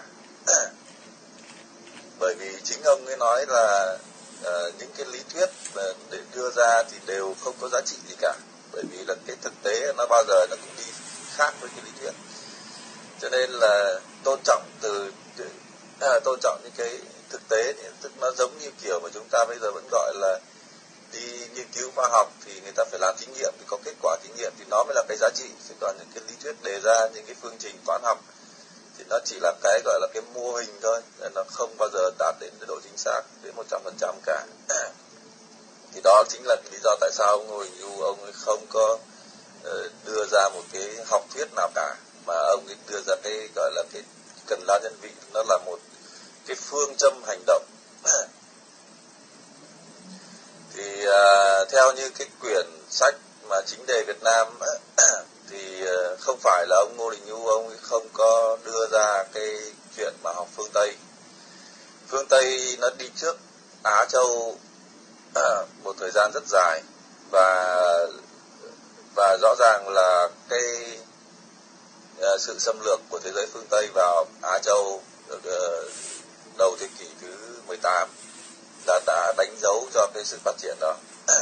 Nó đi rất xa so với các cái nước Á Châu. Và một trong những cái nước mà thoát khỏi cái bàn tay lông lá của uh, các cái nước uh, Âu Châu ấy, là Nhật, Nhật, Nhật Bản. Mà tại sao Nhật Bản lại có thể thoát được? Là bởi vì khi đó là Nhật Bản đã biết là nếu mà mình không có phương Tây hóa mình không có học được họ học hỏi được họ đến theo kịp được họ thì mình sẽ bị biến thành nô lệ. Chỉ có cái nước Nhật là có thể là có thoát được cái cái tình trạng đó. Còn tất cả những cái số phận của các nước khác còn lại thì chúng ta đã biết rồi. À, trong một số, trong số đó thì cái nước tàu nó may mắn là bởi vì nó quá to và đông dân, cho nên là cái cái lực lượng và xâm lược nó không thể trải hết trên khắp nước tàu được. Cho nên nó may mắn là ở cái chỗ đó. À, thì bây giờ trọng tiến mới nói là tư tưởng của ông Ngô Đình Nhu nếu kết luận là chỉ có dựa thuần vào cái uh, lịch sử của Việt Nam ấy, thì nói là không chính xác. Ông Ngô Đình Nhu rõ ràng ông ấy đưa ra một cái khẩu hiệu là cần phải phương Tây hóa nhưng mà phải phương Tây như thế nào phương Tây hóa như thế nào để cho Việt Nam phát triển bền vững. Đó là cái thời điểm mà năm 60 những cái năm sáu thập kỷ năm 60 ông ấy đã đưa ra những cái chuyện đó rồi thì đấy là xin bổ túc với anh như vậy. Không phải có không phải chỉ đơn giản là dựa vào những cái thành tựu về khoa học của uh, không phải khoa học mà là thành tựu văn minh của nền văn minh bách bách việt hay là uh, văn minh á châu bình thường. Mà rõ ràng là cái đó dù mình muốn có đưa đề cao nó đến đâu chăng nữa thì mình cũng phải thừa nhận rằng đó là hậu và khi mà một khi nó lạc hậu là chúng ta chỉ có thể kế thừa nó phát triển nó hoặc là thay đổi nó theo một cái một cái hình thái khác chứ còn không thể thay đổi nó theo một cái bản chất được. Cho nên là cần phải phương tây hóa nó là vì cái, cái ý nghĩa như vậy. Cái chuyện mà cần lao nhân vị thì nó lại trong ý nghĩ là nó lại hoàn toàn khác cái trợ tự theo trợ vĩnh nghĩa hiểu là nó khác với cả cái cách suy diễn của anh ông ngô đình nhu ông ấy muốn thiết lập một cái đảng. Tức là ông ấy muốn thiết lập một cái lớp người có thể kế tục cái sự nghiệp. Nó dài dài nó không có đi theo cái, cái lối cũ. Là cứ người nào mà à, người nào mà đi sau thì lại phá người đi trước. À giờ xin lỗi cái đúng rồi phá phá tất cả những thành quả người đi trước và làm lại từ đầu. Thế thì cho nên là không bao giờ Việt Nam có một cái ngôi nhà uh, thực sự lớn cả.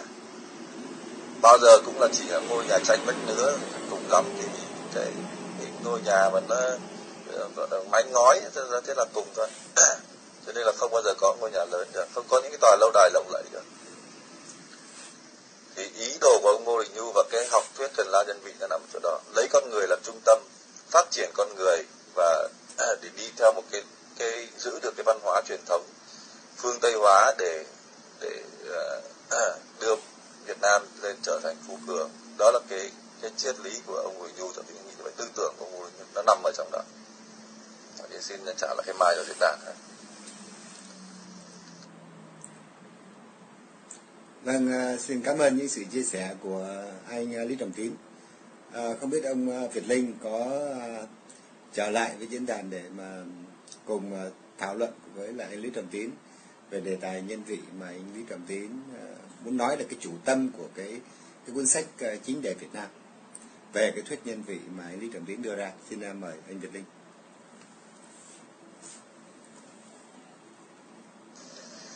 Tôi cảm ơn anh Trinh Kiết Việt và cũng đặc biệt cảm ơn anh Lý Trọng Tín những điều anh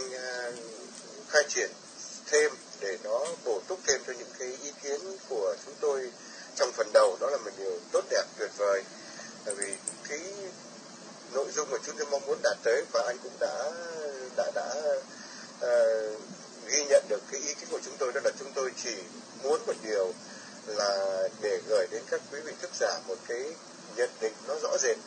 là cái quan niệm về cái cuộc sống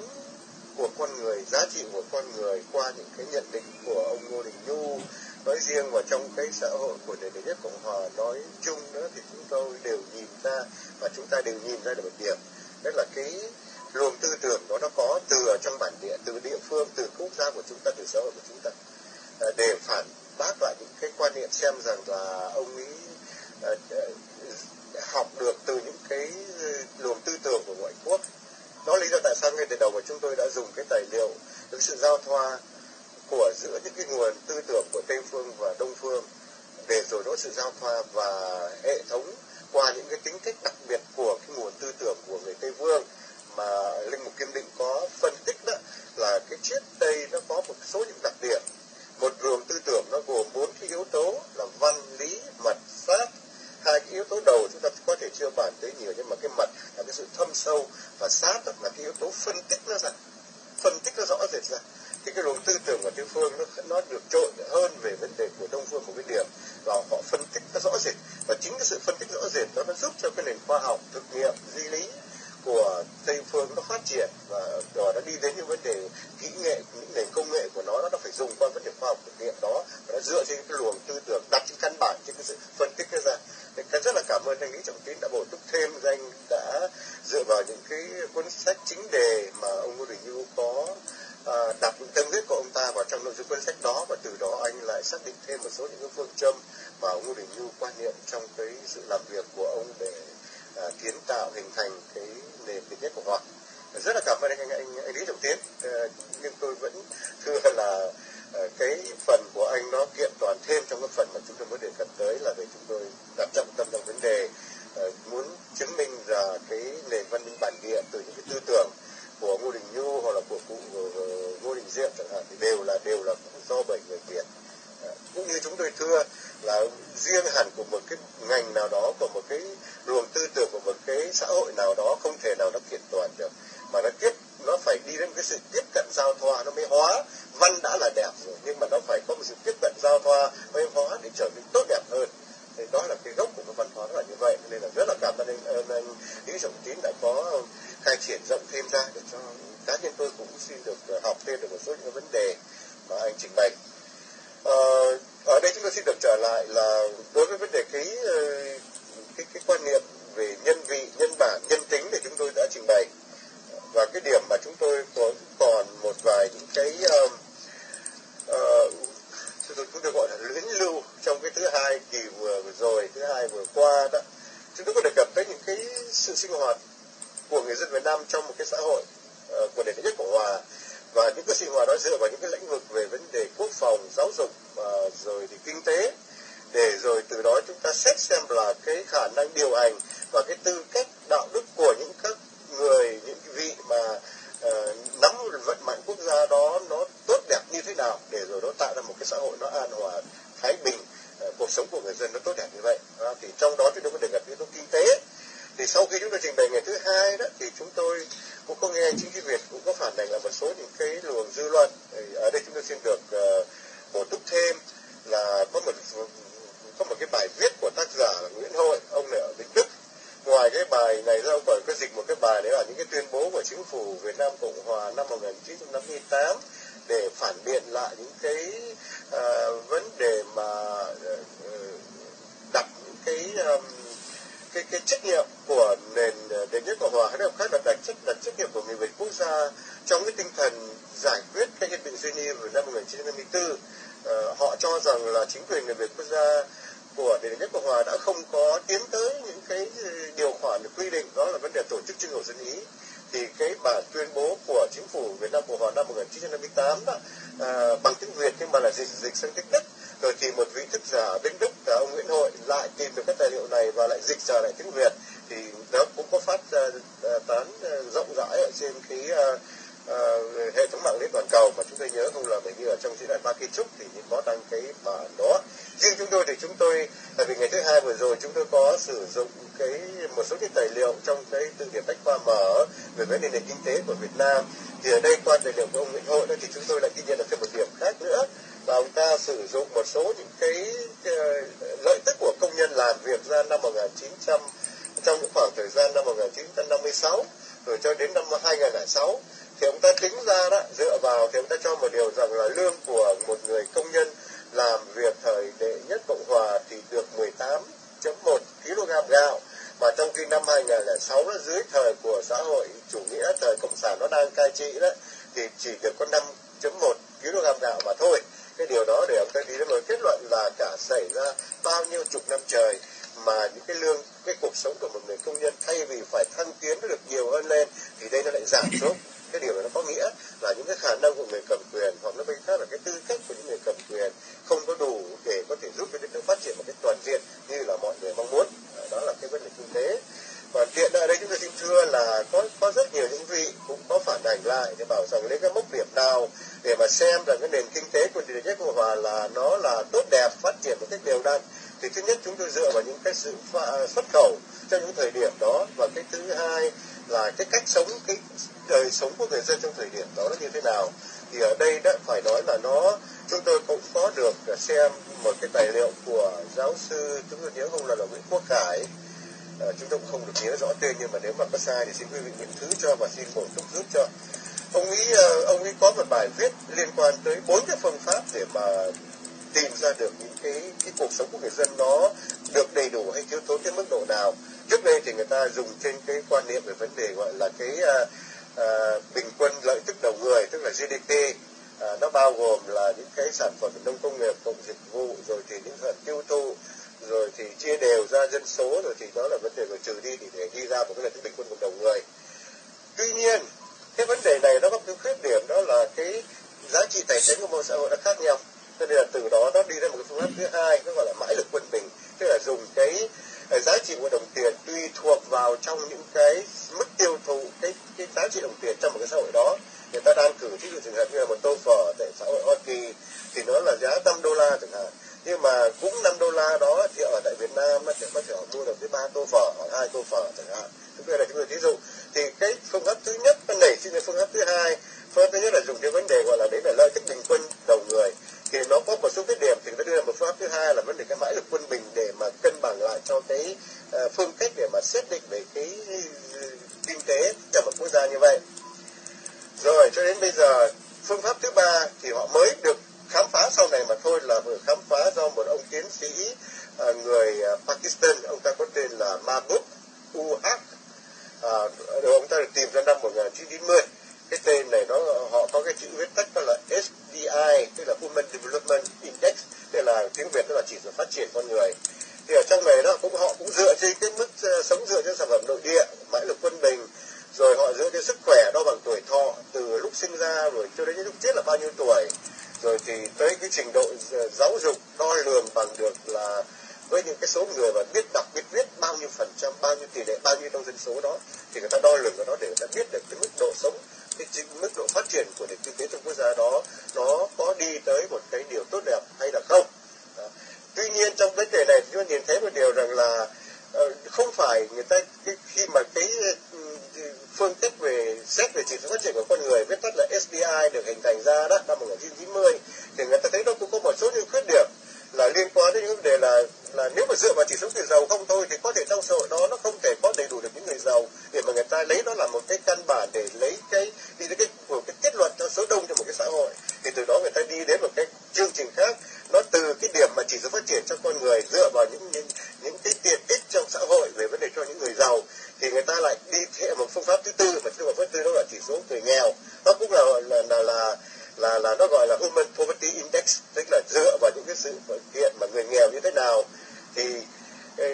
người ta đo lường cho những cái sự đầy đủ cho những người giàu về ba lĩnh vực kia, về tuổi thọ, về giáo dục, về lợi tức chẳng hạn. Thì về người nghèo, người ta cũng dựa trên ba điểm đó. Để từ đó cả bốn cái phương pháp này phải kiện toàn lại, thì từ đó họ mới đi đến một cái kết luận để xếp xem được cái nền kinh tế nó như thế nào. Thì dựa vào cái khung sườn bốn cái phương cách này để chúng ta nhìn lại cái sự cái nền kinh tế của xã hội. Việt Nam trong thời đại nhất Cộng hòa thì thực sự ra là phải nói là cái đời sống của người dân rất là an bình, rất là tốt đẹp. Ờ, đó là một cái điều chúng tôi xin được ờ, bổ túc thêm vào trong cái ờ, lần mà trình bày trong ngày thứ hai vừa qua. Xin được cảm ơn quý vị. Và xin chào minh gọi cho anh chị Khí Việt nhé. Anh chị Khí Việt thì chắc là cũng lại đang muốn Ờ, nói thêm về vấn đề gì những cái giá trị bản lực quân bình gì đây sao đây ạ à? vâng xin chào mấy câu cho anh chị Việt đây ạ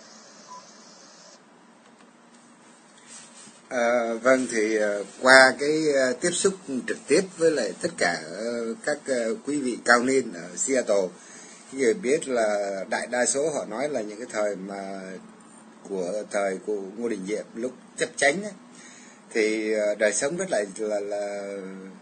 dễ và một người đi lính thì có thể nuôi cả gia đình nhưng mà sau khi mà đảo tránh năm ba thì một người đi lính thì ờ, chỉ nuôi có thể được một người tức là người lính đó và một người khác tức là người vợ thôi còn con là mình không có thể. À, ông thiếu tá trịnh quang minh cũng có nói cái điều đó với uh, chính khí việt rồi uh, ông cụ uh,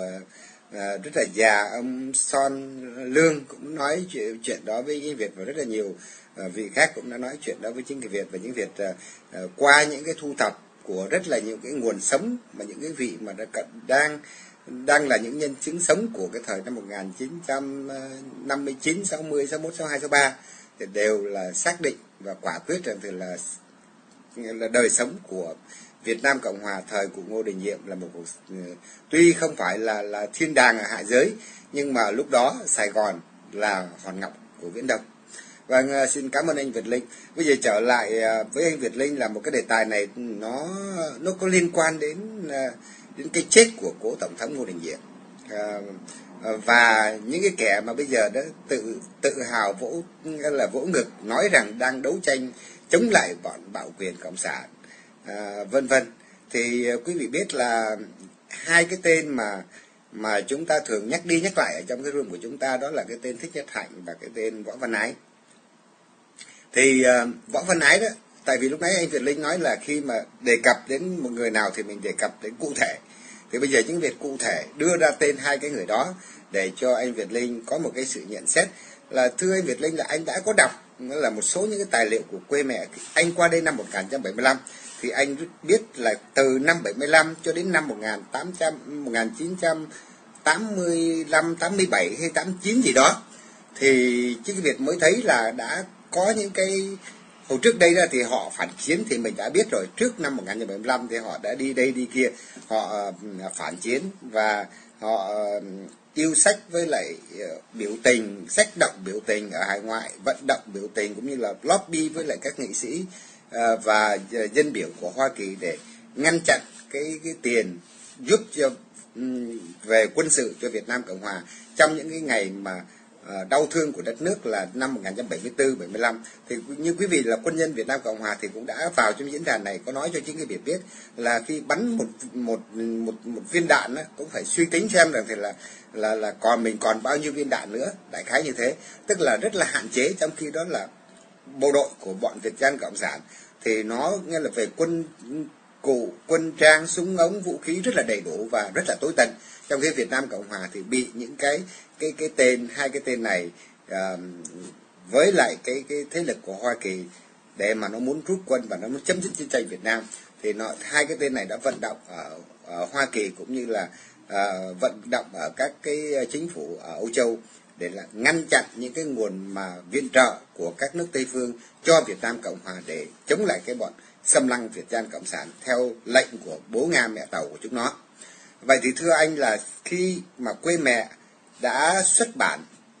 rất là xa xưa như thế. Và cho đến năm, từ năm 75 cho đến năm 81 hình như là chính Việt không thấy một cái tài liệu nào mà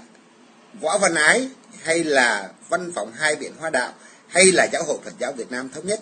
hay là là Giáo hội Phật giáo Khối Ấn Quang đề cập gì đến, nghĩa là cái sự tàn ác cai trị của bọn Việt Nam Cộng sản hay là nói đến những cái bất công của cái xã hội mà dưới sự cai trị sắt máu của bọn Việt giang Cộng sản thì anh Việt Linh có xác nhận với chính cái Việt và anh anh Việt Linh có thể nào có những căn cứ nào mà mà đưa ra cho mọi người cùng thấy rằng những cái việc mà chính cái Việt nói nó có đúng như anh biết từ khi mà anh qua đây năm 1975 đến giờ hay không? Dạ vâng, xin được mời anh Việt Linh.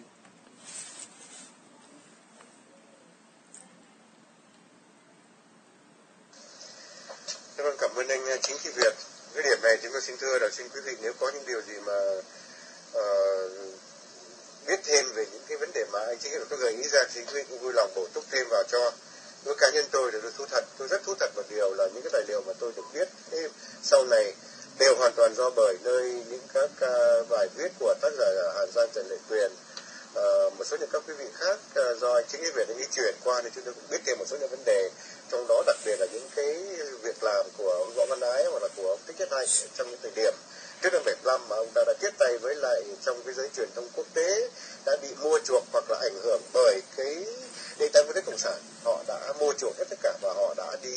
làm sai lạc những cái uh, lý tưởng chiến đấu để mà ngăn chặn những làn sóng xâm lăng của Việt Nam nước cộng sản đối với các quốc gia ở Á Châu đặc biệt là tại Việt Nam. Thì phần đông chúng tôi vẫn có quan điểm một điều rằng là nếu chúng ta xét về vấn đề gì chúng ta đều phải đưa ra một cái khung sườn để rồi từ đó nếu ai vị nào không đồng ý thì phải dựa trên những khung sườn đó. Vì có thể tranh luận với chúng tôi về những cái khung sườn đó sử dụng nó để áp dụng đặt để vào một cái sự việc nào nó có đúng hay không thì từ đó chúng tôi xin đưa ra một cái khung sườn như là từ một cái câu uh, nhận định của Tây phương mà nó gần giống như một cái thành ngữ. Tức là cái hiện tại đó nó là cái kết quả của quá khứ và nó sẽ là nguyên nhân của tương lai từ điểm đó chúng ta có thể nhìn ra được những, nhiều những vấn đề dùng đó để chúng ta đặt những cái lối suy tư, dùng cái biện chứng luận để rồi chúng ta đặt ra những cái câu hỏi và để rồi chúng ta khai triển và chúng ta tìm ra được những cái câu trả lời. Thì bây giờ chúng tôi dựa vào cái điều đó, chúng tôi tìm thấy một điều rằng là trong quá khứ của những người Việt, những người đã làm, không có điều lợi gì cho quốc gia. Thì cho đến bây giờ đó người ta làm những điều nào mà người ta nghĩ mà chúng ta nhìn thấy rất là nó cũng có chung một cái kẻ thù giống như chúng ta là giống như kẻ thù của chúng ta. Thì người đó có phải là những người mà bạn đồng hành của chúng ta hay chưa? Đấy là những cái gợi ý mà chúng tôi xin được đưa ra dựa vào cái khung sườn. Thì từ đây khung sườn mà chúng tôi trình bày đó là cái uh, hiện tại là kết quả của quá khứ thì nếu mà trong hiện tại bây giờ đó, mà nó không có phù hợp với những cái kết quả của quá khứ, thì chúng ta sẽ phải đặt một vấn đề ngược lại là tại sao họ lại làm như vậy. Tôi thí dụ trường hợp ông võ văn ái ông ta từ trước đến giờ ông ta chỉ có phản chiến, ông ta chỉ làm tất cả những điều gì bất lợi cho người việt quốc gia tất cả, cho cái sự trường tồn, cho cái sự ngăn chặn những cái làn sóng xâm lăng muốn nhuộm đỏ thế giới, trong đó có Việt Nam, của nền pháp cộng sản. Và ông ta đã làm tất cả những việc gì ông ta đã làm. Tài liệu thì quý vị đã nhìn thấy rồi tôi các có thể cá nhân tôi cũng không đầy đủ những tài liệu như quý vị. Và thì chúng ta thử hỏi xem là từ năm từ lúc ông ta làm việc cho những thời điểm mà sau khi chế độ đệ nhất cộng hòa à, đã bị lật đổ và kéo dài cho đến năm 1975 thí dụ vậy là cái mốc điểm thời gian mà cộng sản đã cưỡng chiếm luôn cả miền Nam thì ông ta có làm những điều gì mà có lợi cho cái công cuộc đấu tranh để ngăn chặn cộng sản hay không? Chúng tôi bảo chắc chắc chắn một điều là tất quý vị cũng đều phải nhìn nhận đây chúng tôi một điều là câu trả lời đó là không hoàn toàn không có một điều gì lợi cho người Việt quốc gia tất cả. Hoàn toàn không có lợi gì cho vấn đề ngăn chặn cộng sản tất cả và, và cũng không có lợi gì cho cái tiến trình phát triển mưu tìm hạnh phúc mà dân tộc Việt Nam. Tối thiểu từ năm 75 là chúng ta biết rõ về điều đó. Từ năm 75 cho đến năm 1978 sở dĩ mà chúng tôi lấy bốc từ năm 1978 đó là bởi lý do là vì chúng tôi tìm những cái bài viết ở trong cái website quê mẹ tức là cái website mà do ông võ lái chủ trương á, ờ, à, tiếng nói của phòng phát thanh uh, phòng thông tin ờ, hải ngoại của giáo hội ấn quang thì ờ, cho đến năm 1978 năm 1978 chúng tôi chúng tôi chúng tôi tìm được một bài viết đầu tiên của võ văn ái. Chúng tôi viết một cái một cái bài dưới cái đề tài đó là uh, quốc uh, từ quốc hận đến quốc kháng. Đó là bài đầu tiên. Cái điểm này chúng tôi xin nhắc nhở anh chị về là nếu có thể được đó tại vì chúng tôi biết được là bà Hàn Giang Trần Lệ Tuyền đó bà ấy có lưu giữ hầu hết tất cả những báo quê mẹ hầu hết. Thì chúng tôi xin gợi ý với anh Trinh về xin được vui lòng hỏi. Bà chị bà Hàn Giang là trước trước năm 75 trong năm 75 từ năm 75 đến năm 78 đó, có những cái bài nào để mà để mà chống đối Việt Cộng hay không? Ờ, Còn đối với chúng tôi chúng tôi không có không tìm được cái tài liệu nào. Từ năm 75 đến năm 78 có những bài nào để viết để gọi rằng là chửi bới Việt Cộng hoặc là chống đối Việt Cộng hết tất cả? Mãi cho đến 78 thì chúng tôi mới có thấy được một bài viết được đăng hiện tại bây giờ vẫn còn đang lưu giữ ở trong website quê mẹ. Thì trong website quê mẹ đó năm 1978 chúng tôi đọc được một cái bài viết. Rồi sau đó kể từ năm 1978 kể từ cái bài viết từ quốc hội đến quốc kháng của ông võ ái đó nó mới bắt đầu có những cái chương trình rồi uh, tạo ra những cái bộ, vấn đề mà chống đối Việt Cộng đó. Nhưng tuy nhiên nó có một cái nguồn tin là từ năm 75 sau khi cộng sản vào chiếm ở miền Trung đó thì nào là giáo hội ấn quang cử người đi tiếp đón đem xe để mà chở tụi Việt Cộng tử ngoài rừng đi vào thành phố. Rồi ở tại Sài Gòn đó thì lại ờ, ngày sinh nhật của Hồ Chí Minh đó thì lại là tổ chức tụ họp khoảng chừng cả ờ, vài chục ngàn người để tụ họp để mà mừng sinh nhật của Hồ Chí Minh. Nên là chúng tôi nghĩ rằng là ờ, đó là những cái diễn tiến xảy ra. Chúng ta đã nhìn thấy là sau 75 đó là cũng có rất nhiều những cái Ờ, thành viên trong giáo hội ấn quang đó đã đã đã mừng rỡ đón tiếp Việt Cộng vào trong thành phố chứ không phải là không có. Ờ, thì ở cái vấn đề đặt ra là vậy thì bây giờ suốt từ khoảng năm 63 chúng tôi chưa nói tới trước năm 63 mà trước năm 63 thì cũng đã có rồi. Thích nghiệm thì cũng đã có uh, lộ diện ra những vấn đề ở ngoại quốc rồi võ văn ái thì cũng vậy rồi. Đã có những cái sự lộ diện nào để mà gọi là để chống đối người về quốc gia rồi. Uh, tuy nhiên chưa rõ hay làm sao đó nhưng mà sau năm 63 chúng ta nhìn thấy rõ ràng hơn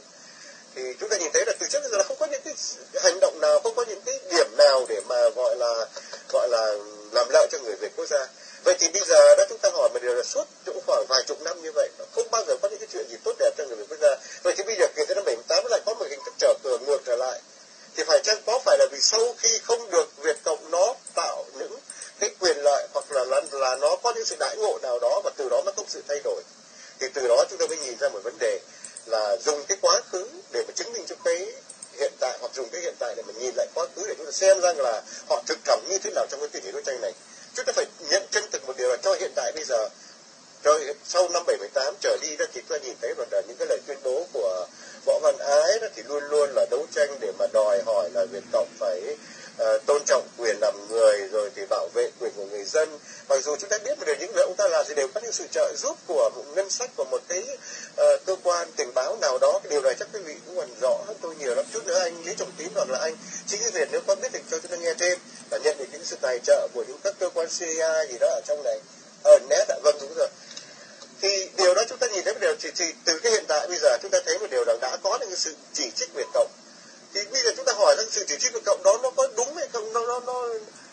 nó, gọi là nó có nó nó có nghĩ uh, vấn đề là đặt tới nghĩ tới cái quyền lợi của quốc gia hay không? Hay là họ chống đối về cộng là bởi cái lý do là vì về cộng đã không tạo những cái cơ hội tạo những cái quyền lợi cho họ trong những thời điểm sau năm 75 và cho đến năm 78 họ nhìn thấy về cộng nó vẫn có nó vẫn tiếp tục để mà nó xem thường và nó tiếp tục để mà nó muốn gạt bỏ cái xã hội anh ra ngoài và từ đó họ mới quay trở lại để họ chống về cộng thì đây chúng ta mới nhìn thấy là trong quá khứ không làm được để cho quốc gia và bây giờ là mà nếu mà họ có quay trở lại để họ chống Việt Cộng thì điều đó nó có nghĩa là gì? Nó có nghĩa là họ không phải đấu tranh cho cái tiền đồ vận mạng của đất nước Việt Nam, của dân tộc Việt Nam mà họ đấu tranh để cho cái phe nhóm của họ, cho cái cho cái giáo hội ấn quang của họ hoặc cho những thành phần của họ làm việc cho ngoại bang hoặc là bất cứ hình thức nào đó nên điều mà chúng tôi xin thưa là chúng tôi đưa một cái khung sườn để nhận định và xét về cái quá khứ hiện tại nhìn vào cái tương lai, thì mới thấy một điều rằng tất cả những cái sự trở về dân tộc là một điều tốt đẹp. Tất cả những sự hợp sức để mà đấu tranh, để mà mưu trì mẹ phúc ấm no cho dân tộc Việt Nam để để đất nước được độc lập và dân tộc được quyền tự quyết, đây là một điều tốt đẹp nhưng chúng ta phải nhìn lại những cái vấn đề đó vì cái mục đích nào để họ chống vì cái quyền lợi của tổ quốc dân tộc hay quyền lợi vì phe nhóm riêng của họ mà thôi thì chúng ta phải xem lại. Cho nên rằng chúng ta đặt một câu hỏi chúng ta đặt một cái câu hỏi thì quý vị thử, thử trả lời và chúng ta sẽ tìm ra được một cái thái độ của chúng ta đối với những hạng người này ra sao. Là bây giờ nếu uh, một cán bộ mà chúng ta cán bộ theo đảng cộng sản lâu năm vài chục năm trời chẳng hạn và bây giờ họ phản tỉnh thì chúng tôi xin đặt một câu hỏi là quý vị có thể tin được những người đảng cộng sản đó ngay lập tức hay không hay là phải vẫn phải đòi hỏi họ trải qua một thời gian chứng tỏ bằng những cái hành động họ như thế nào thì chúng ta mới có thể tin tưởng được và mới có thể hợp tác được nên dựa vào trên cái căn bản uh, luận lý như vậy thì chúng tôi tạm xin thưa một điều và chúng ta hoan hô tất cả những cái tư tưởng chống đối Việt Cộng để đòi những cái sự hạnh phúc ấn mặt cho dân tộc Việt Nam tuy nhiên chúng ta phải cẩn trọng đối với những thành phần mà trước đây đã có những cái quá khứ làm lợi cho cho kẻ thù của người Việt quốc gia tức là Việt Cộng và đã làm cho bất lợi nhiều điều bất lợi cho cái công cuộc đấu tranh của người Việt quốc gia của chúng ta chúng ta phải rất cẩn trọng trong cái vấn đề làm việc này và cái sự cẩn trọng đó nó phải thể hiện qua và chúng ta phải bạch hóa minh bạch rõ ràng với những công việc của họ làm dạ vâng đó là những điều mà anh anh anh, anh chính cái việc gợi ý ra thì tôi xin được xin được phép góp ý là như vậy xin được cảm ơn quý vị xin chào quý vị cho anh cho anh anh anh, anh chính cái việt Dạ vâng, xin à, cảm ơn anh à, Việt Linh. À, bây giờ chính Việt thấy à, bàn tay của anh Lý Trọng Tín trở lại. Dạ, xin mời anh Lý Trọng Tín.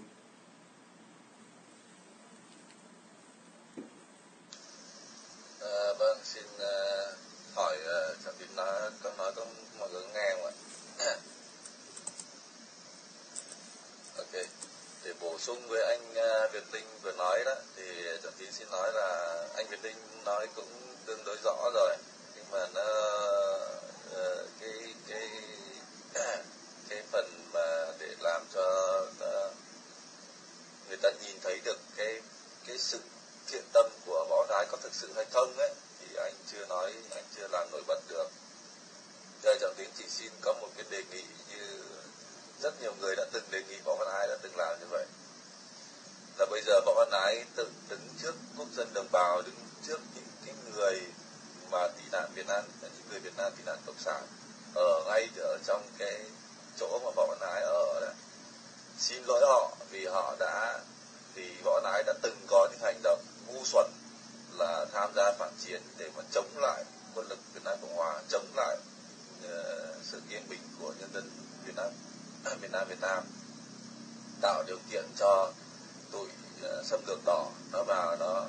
biến họ trở thành nô lệ uh, chỉ cần võ ái làm được cái chuyện như vậy và bạch hóa tất cả những cái gì mà võ ái đã từng làm trong quá khứ những cái trò bậy bạ nào đi với những thằng nào thằng nào thì võ ái tự viết ra thành thành thành một cái quyển sách à, thì chúng ta sẽ đánh giá được là võ ái có thực tập hối cải không trong cái tất cả các cái uh, tôn giáo uh, đều có cái màn gọi là màn hối cải tức là anh phải hối cải thì anh mới được cứu vớt còn anh không hối cải thì anh vẫn chỉ là cái thằng mà vẫn là đi lừa đảo thôi anh không có thực tâm gì cả đó. thì đó đấy đấy là một cái đề nghị mà tất nhiên trọng tín đây đó không phải cái này là là ý kiến của trọng tín mà cái này là đã được rất nhiều người người ta đề nghị với võ ái làm chuyện đấy đó chuyện đó rồi nhưng võ ái chưa hề có một lần nào làm được những cái chuyện như vậy vâng đó là cái ý kiến của trọng tín như vậy xin trả lời à, xin trả lời cái mai ý kiến này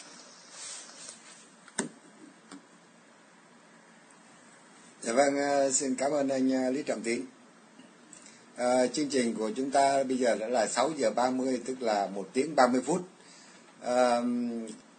bây giờ chính cái việc có một câu hỏi chót này với anh Việt Linh. À, là gần đây đã có một số những cái dư luận là cho chúng ta là à, chúng ta là những cái người mà kế tiếp những cái thế hệ đàn anh như chính cái Việt à, à, là một người lúc mà Việt Cộng rất là vào thì vẫn còn nhỏ, đó là mới có 15 16 tuổi thôi. Thành ra không có không có biết ờ, nghĩa là cái, những cái thế lực nào mà đã chống phá Việt Nam Cộng Hòa, những thế lực nào mà đã làm lật đổ chế độ cộng sản. Khi qua đây rồi đọc những cái tài liệu và tham khảo ờ, với những nhân sống, những chân chứng sống, tại vì chính Việt có cơ hội tiếp xúc với rất là nhiều quý vị cao niên cũng như là uh, quý vị đã là những nhân chứng sống của những cái thời kỳ đó từ ở Huế hay là uh, Đà Nẵng hay là Đà, Cam Ranh hay là Nha Trang hay là Sài Gòn. Thì uh, những cái người trẻ của của thế hệ mà một rưỡi và thế hệ thứ hai này thì có nên là nối tiếp cái tinh thần của chí sĩ Ngô Đình Diệm nữa hay không? Để chúng ta tiếp tục mà con đường cứu nước à, xin mời anh ờ, anh ờ, Việt Linh lên trả lời câu hỏi này của chính cái Việt.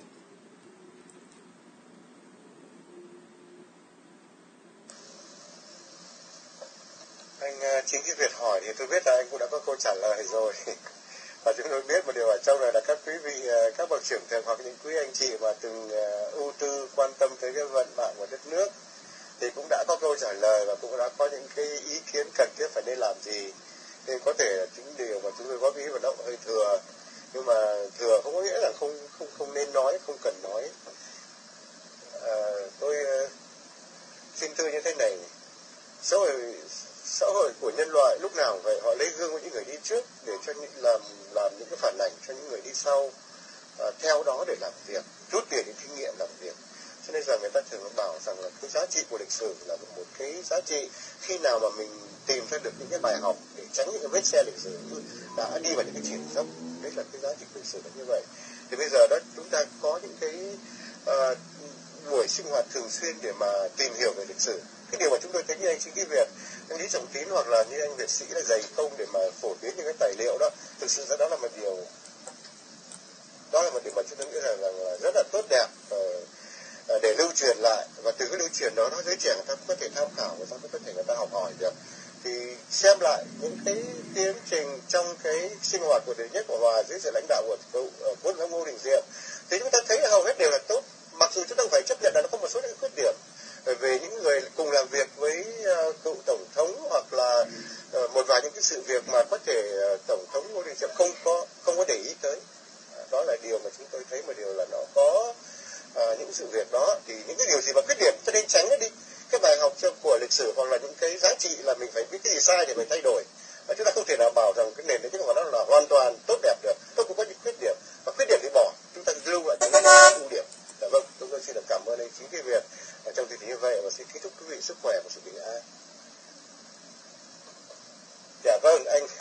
anh việt sĩ chúng tôi bảo rằng là rất anh sẽ, sẽ chuyển rất nhiều tài liệu cảm ơn anh. Trong tương lai chúng tôi sẽ cũng sẽ rất là cần tới cái sự hợp sức của anh ờ, việt sĩ trong một vài những công việc khác. Chúng tôi rất là đa tạ anh việt sĩ. Con xin trả mình lại trang trí cái việt đấy ạ. Dạ vâng, xin ờ, cảm ơn anh Việt Linh. À, thật sự là chính Việt cũng còn đang là ở trong cái cái giai đoạn mà mò mẫm thôi, chứ không phải là đã có sẵn là những cái câu trả lời ở trong đầu đâu thưa anh Việt Linh. À, bây giờ chính Việt à, xin hỏi anh một câu hỏi nữa. Câu hỏi này nó liên quan đến à, đến cái tổ chức nhân quyền đó thưa anh Việt Linh là ở tổ chức nhân quyền ở Nam California đã giao cho uh, cụ Huy Hà Vũ cái giải nhân quyền. Uh, không biết là nếu mà anh là một người gọi là đứng đầu của một tổ chức uh, nhân quyền mà mạng lưới nhân quyền đó nằm ở Oregon thì để có sự lựa chọn. Mình biết rằng đây là sự lựa chọn mà có vẻ là khấp khảnh. Tại vì tên cụ Hi Hà Vũ là được Quảng Độ nói là con dòng cháu giống rồi con của người khai thuốc công thần vân vân. Mà trong khi đó là chính cái miệng của tên cụ Hi Hà Vũ nó nói nó chả có chống đảng gì cả. À, vân vân và nó vẫn ca ngợi cái tên là chết tiệt cái tên chết tiệt. Chính việt nói ở đây tại vì ở trên ờ, đưa lên các cái website thành ra chính việt ờ, à, à, nói nó có vẻ là, là là lịch sự một chút xíu. Ờ, để cho quý vị mà các quý vị mà phụ nữ nghe thì nó không nó không có chói tai. Nhưng mà nếu mà chính cái việc mà nói về cái tên Hồ Chí Minh này thì chính Việt sẽ dùng từ ngữ rất là nặng nề đối với cái tên này. À, thì à, khi mà tổ chức nhân quyền của Nam California đó à, trao cho tên con dòng cháu giống trong ngoặc kép mà của Quảng Độ đấy con của cái vị mà khai quốc công thần trong trong quả kép của Quảng Độ đấy, thì anh nghĩ rằng thì là cái giải nhân quyền này trao nó có xứng đáng hay không? Xin à, mời anh Việt Linh.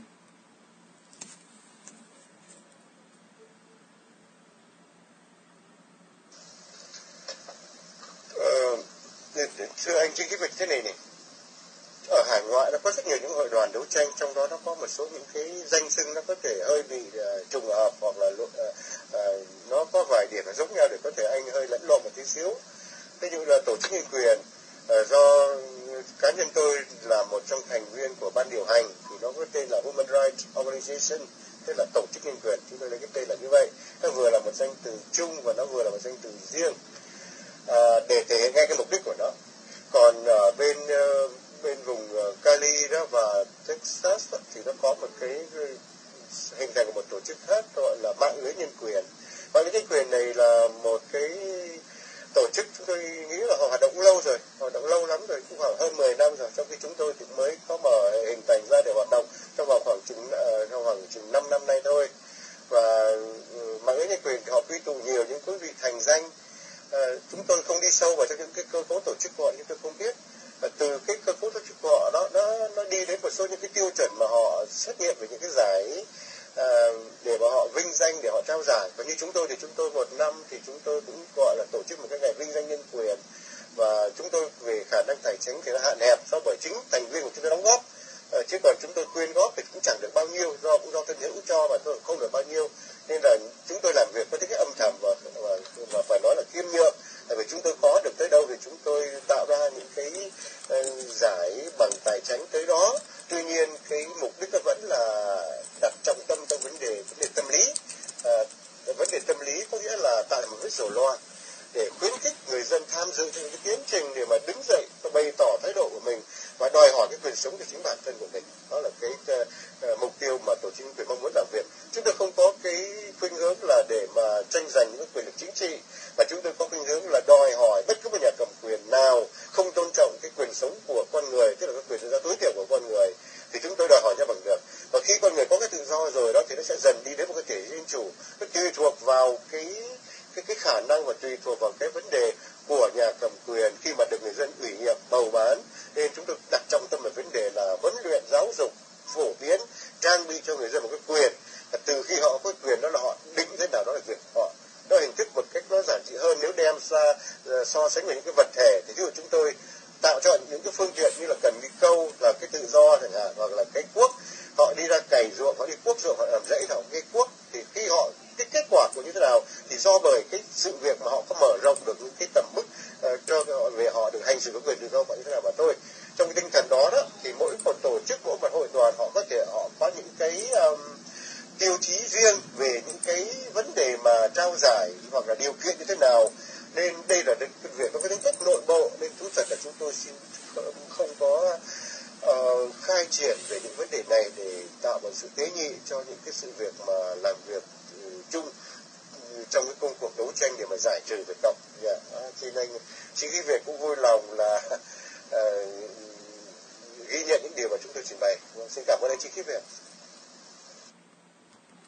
Dạ vâng, uh, Vâng, à, xin à, cảm ơn anh Việt Linh và chương trình à, tuần Bát Nhật ngày cuối cùng đã chấm dứt. Chính cái Việt sẽ tổ chức cái buổi cầu nguyện vào sáng ngày mai với lại một số anh chị em ở trong room, tại vì trong room cũng khá nhiều quý vị không phải là tín đồ Thiên Chúa giáo. Thành ra nếu mà chính cái việc mà tổ chức ngay bây giờ, tại vì room cũng khá đông, nếu mà chính việc tổ chức như vậy thì nó cũng hơn nữa là um, nó có vấn đề tế nhị và hơn nữa là uh, giờ giấc lại không cho phép là những việc là phải uh, rời khỏi diễn đàn trong giây lát. Thành ra chính việc sẽ ờ, cái buổi tổ chức đó sẽ để được dời lại cái phần mà nghi lễ cầu nguyện cho cố tổng thống Ngô Đình Diệm, ông Ngô Đình Nhu, ông Ngô Đình Cảnh cũng như là uh, quý vị đại tá Lê Quang Tung, đại tá Lê Quang Triều, à, đại tá Hồ Tấn Quyền và ông Phan Quang Đông sẽ dời lại vào sáng ngày mai. Và xin à, một lần nữa xin về xin được cảm ơn tất cả quý anh chị đã đến tham dự tuần bát nhật cầu nguyện cho à, ông Ngô Đình diệp, ông Ngô Đình Nhu. Và à, ngày hôm nay à, thưa quý vị đã biết là là ngày cuối cùng trong tuần bát nhật. Và ngày mai room sẽ lại sinh hoạt bình thường sau cái giờ cầu nguyện uh, chung của diễn đàn là tới giờ sinh hoạt bình thường uh, sẽ có những cái uh, buổi hội luận khác và những cái việc sẽ được thông báo trên Yahoo Group cũng như là trên các website để quý vị có thể vào sinh hoạt chung với lại anh em ở trong room À, vâng, xin một lần nữa xin cảm ơn tất cả sự hiện diện của quý ông bà anh chị em đang có mặt ở trong room cũng như là quý vị thính giả cũng như là độc giả trên các uh, website toàn cầu. Thì một lần nữa xin được xin được cảm ơn anh Việt Linh, cảm ơn bà Hàn Giang Trần Lệ Tuyền và cảm ơn uh, sự chia sẻ lúc đầu của thiếu tá Liên Thành, chỉ huy trưởng cảnh sát quốc gia Thừa Thiên Huế và cũng là tác giả của hai quyển à, Huế thảm sát mậu thân và biến động miền Trung. Ờ, chương trình của chúng ta ờ, tới ngang đây là chấm dứt. Xin chào tạm biệt tất cả quý vị.